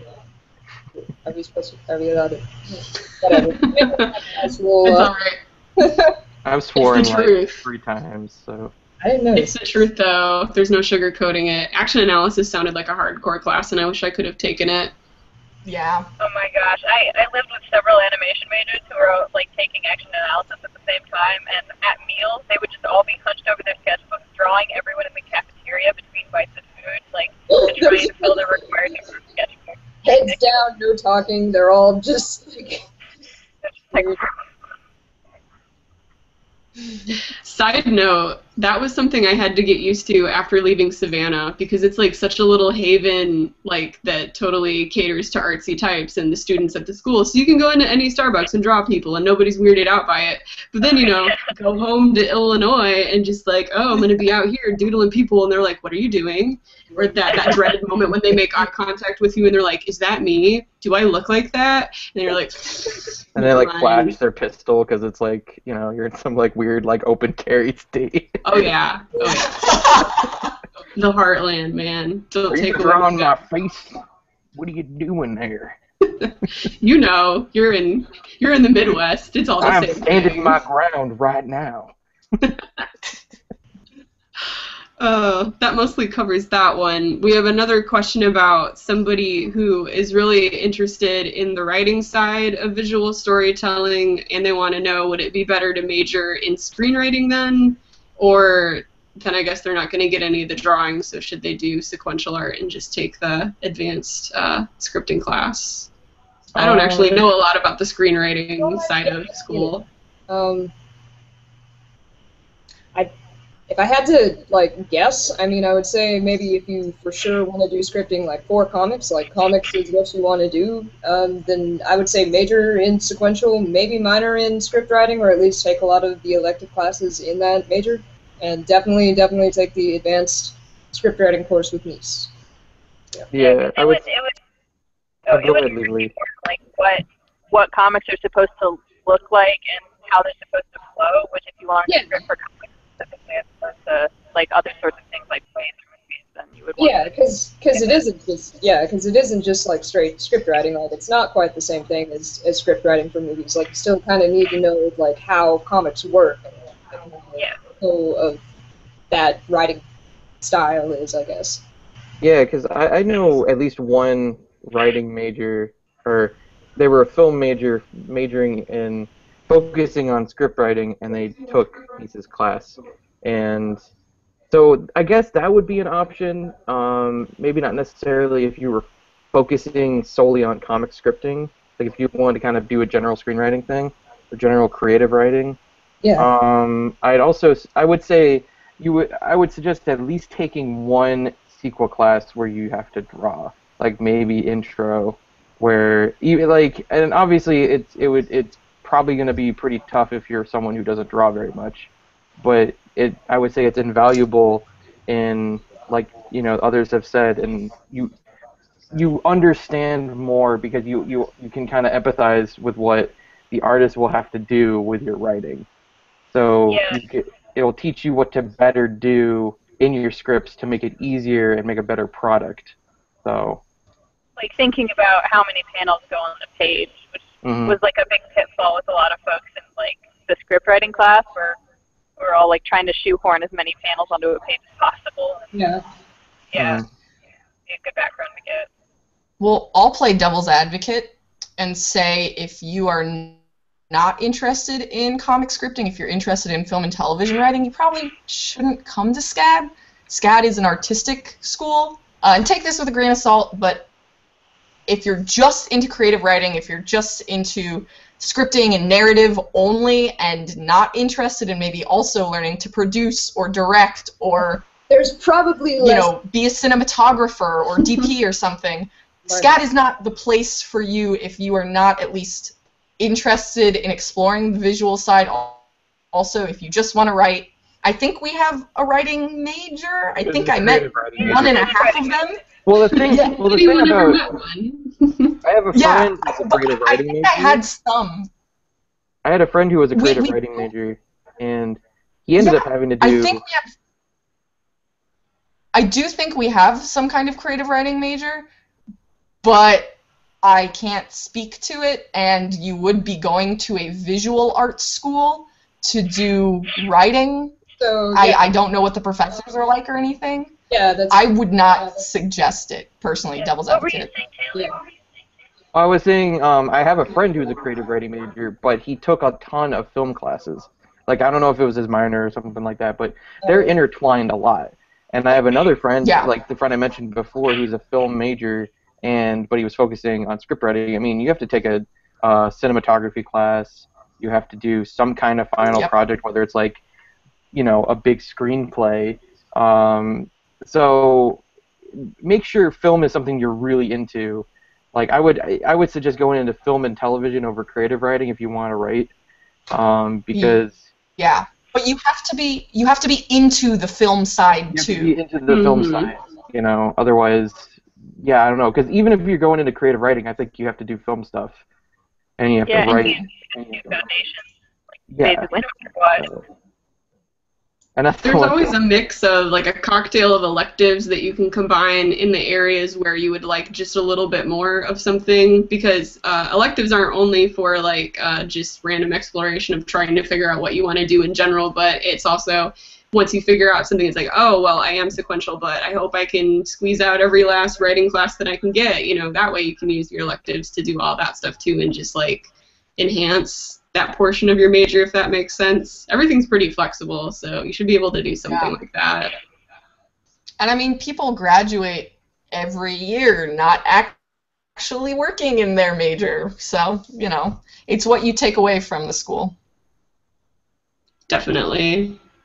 Someone wants to know um, what exactly a pitch is because this term is thrown around a lot, and I guess they want to know more of like what actually consists of a pitch. A pitch consists of. Ness, did you take the pitch? I did take the pitch. I love the pitch. So this is this is like your realm. then. Yeah. What I mean, I think some of you guys maybe have more hands-on practice pitching, um, but in the pitch class, uh, the goal was pitching to um, Phil Craven, who is the lead story artist on DreamWorks at DreamWorks on Kung Fu Panda and other animated films, and we basically had to create something to pitch to him. I pitched a game to him. Other people pitched an animation pitch to him. Some people pitched a sequential thing. It's very flexible. You just got to work with Godot, talk to professors. Um, you basically a pitch is a quick explanation of a like a kind of media uh, that you would like to get funded or produced or picked up by an exec, uh, director, uh, you know, a pu- publisher, you know, an Everything from Editor, a game uh, to a movie to a TV show to a comic book. Yeah, Everything everything, gets has pitched. to be pitched. Yeah, and it's basically just a summary, very quick. Uh, what it's about, beginning, middle, end. You must know the ending. You must must tell whoever you're pitching it to the ending. Uh, they're not a reader. They need to know what they're investing in. That's my biggest part of pitches. Tell them how it ends. Uh, explanation of characters, plot, what's it going to be, where it takes place. Try, you know, hopefully it's interesting and you get picked up. But I think other people have more experience actually pitching. which is, um, I mean, the good thing about SCAD is like uh, you actually do get a little bit, even if you don't take the the elective the pitch, you do get a little bit of experience in the scripting class um, because part of the final project for Kneece's class is you have to actually sub- you have to pitch a comic to a publisher, like it's a requirement for the class, like. y- You literally have to go with them and take it down to the post office. Like you can't get out of it, even if you don't want to pitch to the publisher. Um, which I, think, I Uh, don't think you have to send it anymore necessarily. We, Oh. we didn't send it in my class. Yeah, when I took it, I- it we had to suffer our embarrassment of sending our unfinished pitches to the publishers, even though we knew we weren't ready to get picked up yet. Good practice. It's good practice. Practice, or as Kneece would saying, you know, uh, customize or um, make, familiarizing you with the stench of failure or something like that. He's so good. He's so good at telling it like it is. the happiest person. It's true though. Um, it was a good exercise, and when I've done pitches after that, um, I've always gone back through the material from that class and thought, okay, what does this contain? And most of the times, um, if somebody's taking open, if there's an open call for submissions, they'll tell you exactly what to put in this thing. You know, whether they want character designs and an overview of the story, uh, a production timeline. Sometimes they want to know like how long something's going to take. So a lot of times they have um, suggestions on what to do. But yeah. And it's slightly different, you know, depending on what it is you're actually pitching. Like if it's for animation, or if it's for a comic, or if it's for a game. It's you know whoever you're pitching to is probably gonna eh, like say what they want to see from you. I'm back. All right, yay! Sorry about Poor that. I don't know what happened. I'm impressed it that your smells like a hole phone's through been my able to hang in there. About to move on to the next question. Um, what do you guys do during your summers um, when you're away from SCAD? Did you guys take any uh, summer classes, or did you need that time to recover? Uh, recovery on say this one definitely. I had to take um, because of uh, a family event thing. I had to uh, leave for and basically leave an unfinished quarter, so I had to make up two qu- two classes over the summer. But that was just a necessity and not so much like I want to do this. Um, so I ended up taking two online classes, which you know might be an avenue that incoming students might want to at least look into. Um, because is it possible to take four classes a quarter? Is that a thing? Yeah, yeah, I think so. Yeah. something, but like I think it's possible. Yeah. I think Yeah, you I- have to have this like tearful sit down with your academic instructor, and they tell you, "Don't do it, please don't do it," and you say, "But I gotta," and they're like, "Okay."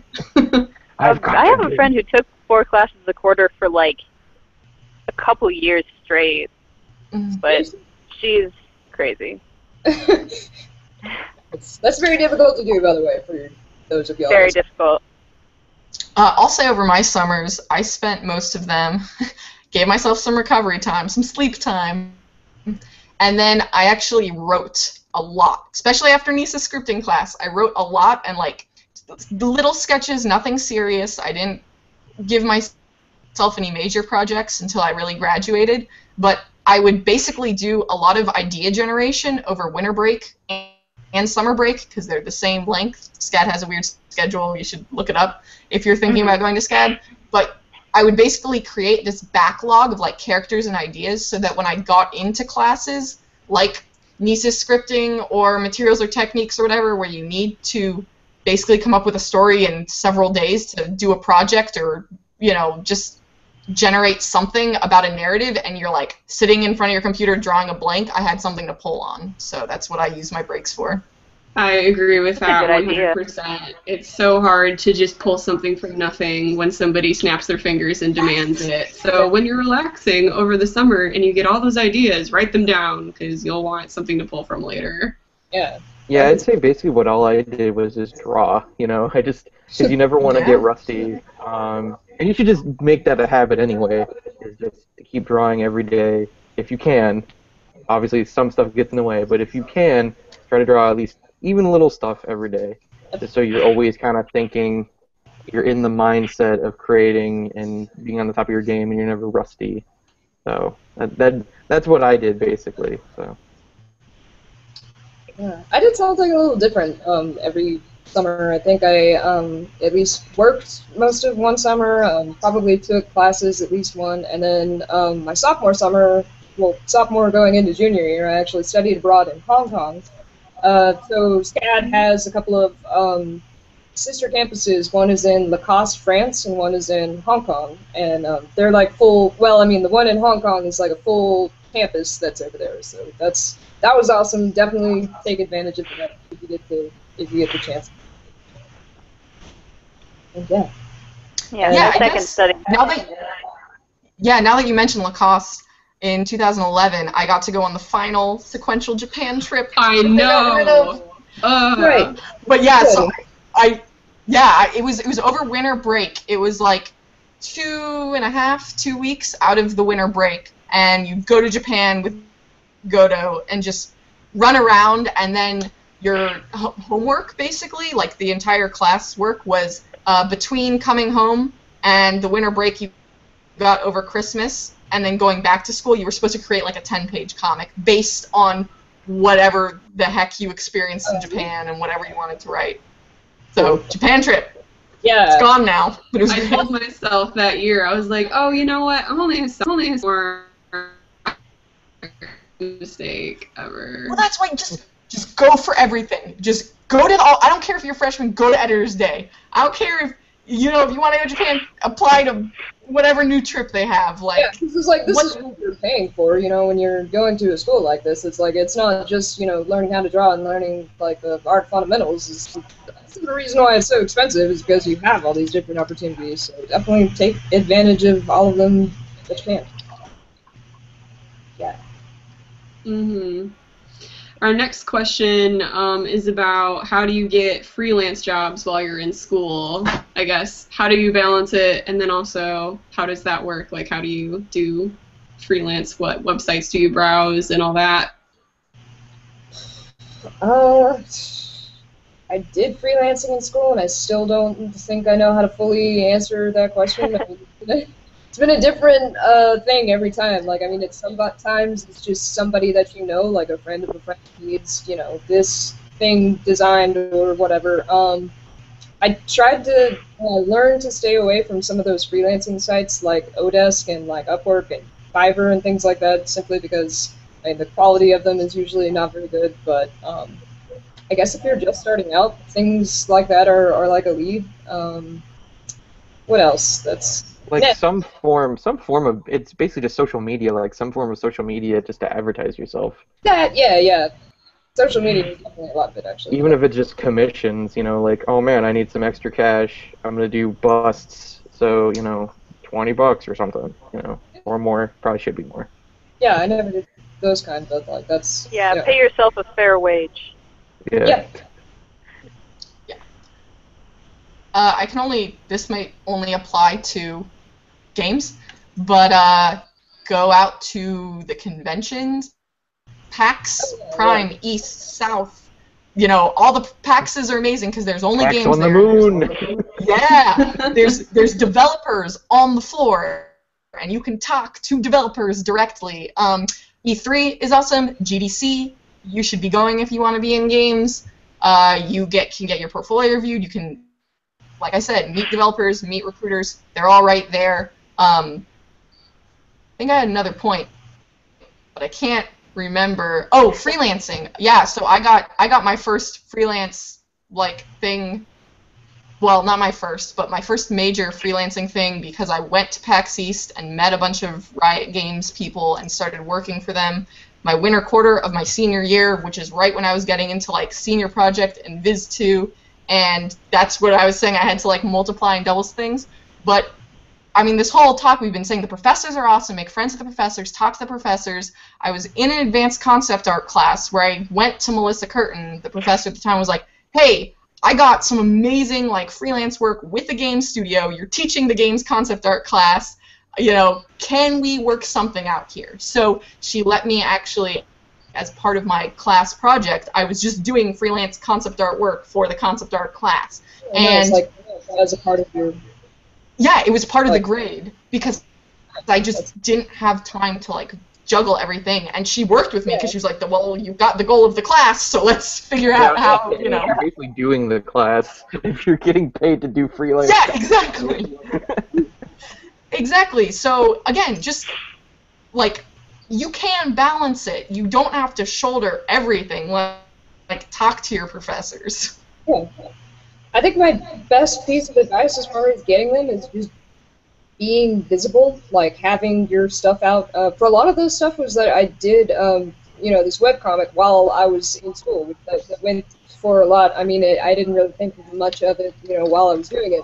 But I mean, uh, just getting that out there, putting that in front of people, that I feel like the webcomic by itself was the biggest advertisement for like my portfolio than you know anything as like the uh, the school like uh, job services and things like that. Like I feel like um, having social media up to date and functioning and active is is probably one of the biggest things that'll get you freelance. Yeah, I agree with that wholeheartedly. Um, you just have to be out there. I can't tell you how many jobs um, that I've got have not been because I sent a resume and I wrote a cover letter and then I met them in person and shook their hand. It's like being on Yeah. Twitter at the right time and somebody's like, "Hey, this this needs to get finished. I need somebody to do color flats for this like right now." And I'm like, "Okay, PayPal me the money, send it to Dropbox." Then we're done. And I can't and I can't it. emphasize enough how awesome Twitter is for comic artists and sequential artists because you can directly interact with like your heroes. Like you know you have Chris Samnee who's like my favorite comic artist, and I'll just like hey here's a here's a Black Widow drawing I did, and I like tagged him in it, and he was like oh this is awesome. So you have increased visibility because you can tag people and stuff, and you know I've that's how like I mean you guys some of you guys might know like Ian McGinty. You know, I've Mhm. never met Ian McGinty, but we're like kind of now friends through Twitter, where we'll just like send pictures of Bobby Hill back and forth and talk about welcome to the show side. I'm so glad. No, it's true. Um, it, Twitter makes it so much easier to reach out to other people, and then there's that satisfaction of like you might be posting something about, um, I don't know, a movie you saw or a comic that somebody worked on, and then they they like it, press that little heart button, and you're like, oh, you acknowledge me. You know I exist for a brief moment. Senpai noticed. And I can say, Exactly. like, you know, again, your professors are a great networking tool because I did um, the Art for Hope Nepal thing with Viz Media, which is this charity art book that you can get through Comixology. It's like five bucks. It's totally worth getting. Um, and I got it through. I went to Laris and I'm like, hey, are there any editors that you have that I can just shoot an email to? I did uh, Joel Enos with Viz, and like, I mean, Viz doesn't really hire people, but it's great. It's a great person to to have just to talk and bounce ideas and pitches off of. And he came to me and he was like, hey, uh, we need people for this, you know, art book thing, and because it's for charity, we can only really pay him maybe like a hundred bucks, but you know, and so I did a thing for it, and you know, it's a fully published thing. I mean, it's a hundred bucks is is on the low end for a normal situation, but yeah, it's for charity, and I still got paid for it, and you know, it's still an official published thing. So yeah, it's a lot of it. It it's not so much like there's not really a huge interview process necessarily you know, even though we we kind of go through that training and with Editors Day, but that's just one of dozens of different scenarios you can do to get work. You know, they they always say like no one gets into the comics industry the same way. Sometimes it's just knowing a dude, or sometimes it's you know actually is sending out stuff. Sometimes it's a portfolio review at a at a con. Sometimes it's having a table at a con and a publisher an editor walks by and picks up your mini comic or a print or something. So it, it's really just you know just throw stuff and see what sticks, kind of. So that's what I would suggest. Mhm. You never know who you're gonna meet, so be cool. Yeah, what's, what's, Um, the, what's the, the the thing where it's like you can be fast, be good, or be easy to work with? You can pick you can pick two. Yep. yes, Oh. I have found that to be so true. Make sure one of them is be easy to work with because you don't want to be known as the dick in in the community Fair in enough. the industry. That's what I would suggest anyway. You know, Mhm. Like maybe It's like you'd be like super good to transcend being you know a huge butthole, you know, like Rob Liefeld, but you know who somehow gets you know he's like he's like none of those things. So maybe it's not that true, but you know whatever. He's an Sometimes it's a aberration. mystery. Who Yeah. even knows? Or you can be you can be two of those things, or you can know people. Or you can know people. or that. Know people. It's true. Um, let's see. Do a couple more questions, and we'll probably wrap it up. Um, oh, uh, they're asking about a program called Out to Launch, but I think maybe that's what uh, Summer Swarm has been renamed to, because I don't think I ever heard anything called Out to. Launch. But, or do you know what I'm Or- talking or is about? Is it part of the orientation process for freshmen that they've renamed? Maybe. I don't know. It sounds like a dating Or- astronauts. I don't know. Uh, sorry. I don't know anything. Okay, I will say I don't know. I don't know anything about out to launch, but I do know ton of shit, ton of stuff about the CLC program, the Co- Collaborative Learning Center. Uh, highly recommend. Look up the Collaborative Learning Center if you're going to SCAD and do it. It's, it's great. Use your electives wisely. Mhm. Just Nike, Nike ad, just do it. Yeah, just do it. I feel like I might want I'm to back. I made it. Hey.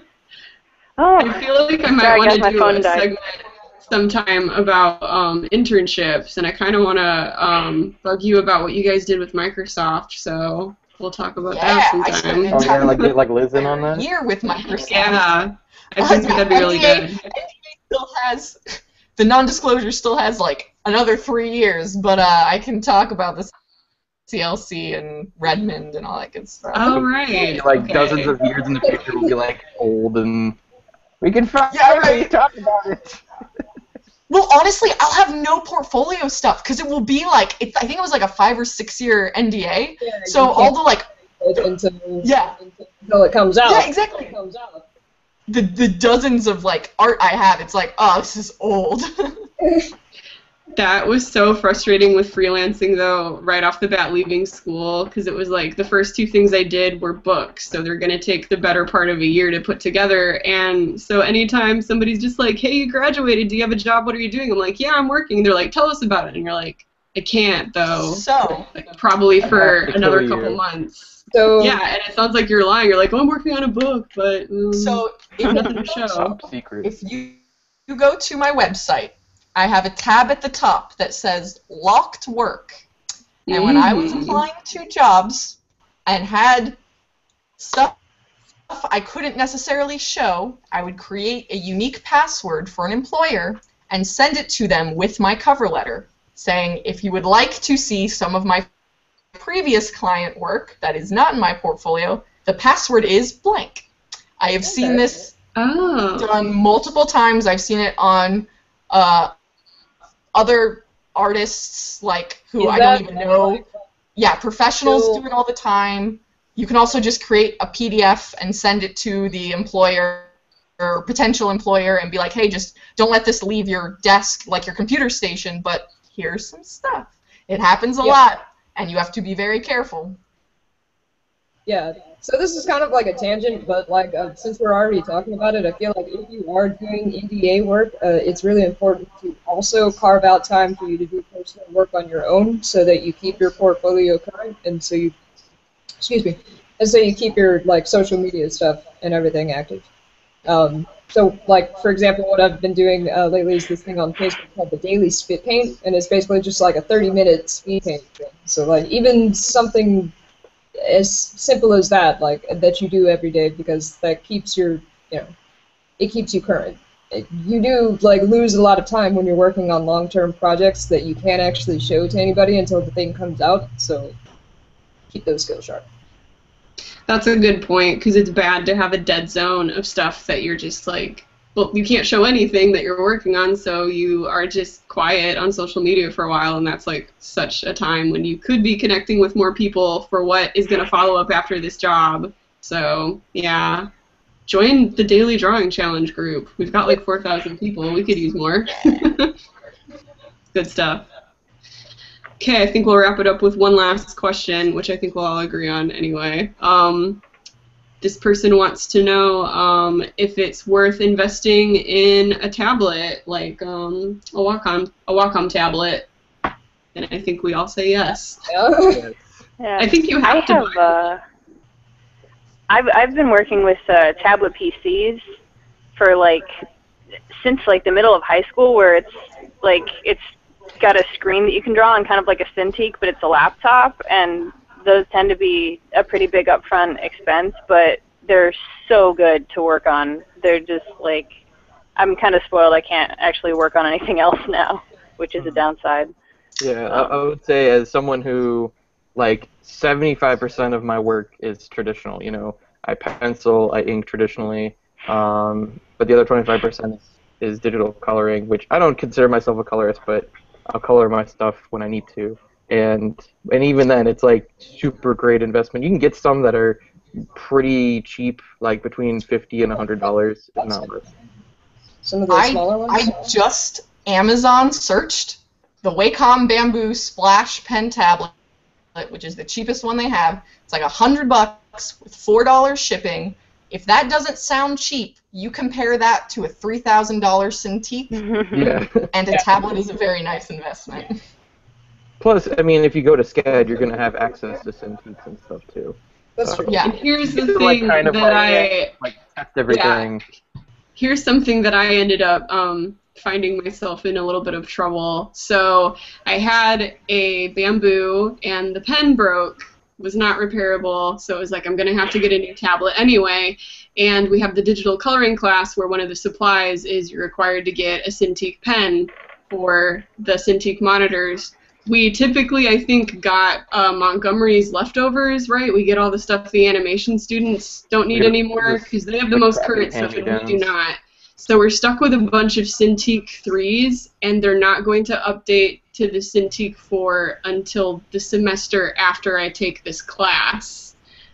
so at that point, I decided to just buy my own tablet entirely and haul my laptop to class. So don't depend on SCAD to maybe have the most update, up-to-date equipment for the sequential department. I feel like we get forgotten a little bit. Or maybe that's never happened to anybody else and it was just like the perfect storm, but really I was just like, I'm not going to buy a Cintiq 3 pen that I can't use next semester, so maybe I'll just buy the whole tablet anyway. Yeah. And I don't think you can rent pens at the uh, sequential building. I think the only place you can do that is the animation building. Do you The guys cage. know? Gotta go to the I think that's Yeah. correct. Yeah, I Yeah, think I some agree. people did that for the digital coloring class when I was in it. They like went all the way to Monty to rent the pens. I thought you weren't allowed to take those pens out of the outside of Monty. I could be mistaken, but Uh, I could have gotten them mixed up. Point being, uh, buy a tablet. Yeah, they're not that expensive. Yeah. yeah, do you guys know any other um, cheaper, I guess, alternatives to just getting a Wacom tablet, um, other than the ones that have been mentioned so far? I mean, used on Amazon, sixty bucks for a Wacom tablet. My first Wacom tablet is an old Graphire 4 that cost a couple hundred, and it's still like running. It's it's a freaking plastic beast. but, but you're really not gonna find a, a quality, like non-crazy buggy drawing tablet for less than sixty bucks. Agreed. So And a if, pretty if that's price. something you really want, yeah. But it's such a worthy investment because you're gonna be using it for years. Well, yeah. Plus, Mhm. I mean, I mean, you do have access to like really nice Cintiqs and computers and stuff at the SCAD facilities. But if it's a weekend and that all the Cintiqs are filled up, and you're like, oh my god, I need to do digital work on my homework, it's just so so nice to have a backup or be able to just gather up your stuff. Like if you can't work in your room, if you live with a roommate and there's something going on and you just need to move to work at the student center, which is beautiful and awesome, and I, I love that place. Um, and you just want to spread out and bring your, you know, laptop and Cintiq or, or tablet and work. Like Mhm. it, it's very versatile, and you can even bring it to the buildings. Like it was awesome. Mm-hmm. Good advice, because yeah, sometimes uh, there's limited space in the animation building, especially because there are people who that's their major, and we're the vultures. Yeah, and if there's if there's like space. right, like if, if there's only a s- few computers who have a certain software loaded, but you have it at your on your computer at home, you've got the student version, and like all the you know the limited number are taken at a computer lab, and just gotta do what you gotta do. Mm-hmm. Well, I think that's all the time that we have for tonight. But um, thank you guys so much for um, joining me tonight and answering the questions. You guys are super awesome, and it's so glad to have like a mini. I'm so glad that we can have a mini sequential reunion. yeah. Yay. Yeah. Your cheer is so enthusiastic, Taylor. I know, right? That's what I'm known for. Just have like an, uh, a soundboard of all of your like grunts and groans. We- Like, yeah, we can do it. Um, thanks to everybody who tuned in tonight. I hope we answered your questions. Um, this is going to be, like I said, a two to three part series. So I think um, sometime next week is going to be another group of people, and then possibly if there's another group of people, we'll just talk about Editor's Day. So you have that to look forward to. There are a couple other majors I might talk to. I don't know any. Um, I don't know any fashion majors apparently that are online. So You're not good if anybody can connect some my way, trying to get a hold of some people. And this will be archived, right? It will. It's, So it'll be on can share this YouTube. and throw it So people's future faces, generations. like- yeah. Yes. This will be what they put in that time capsule for aliens to discover. Yeah, yeah. At least Specifically, you files. going yay. yeah. Clearly, this this race was very enthusiastic about their life.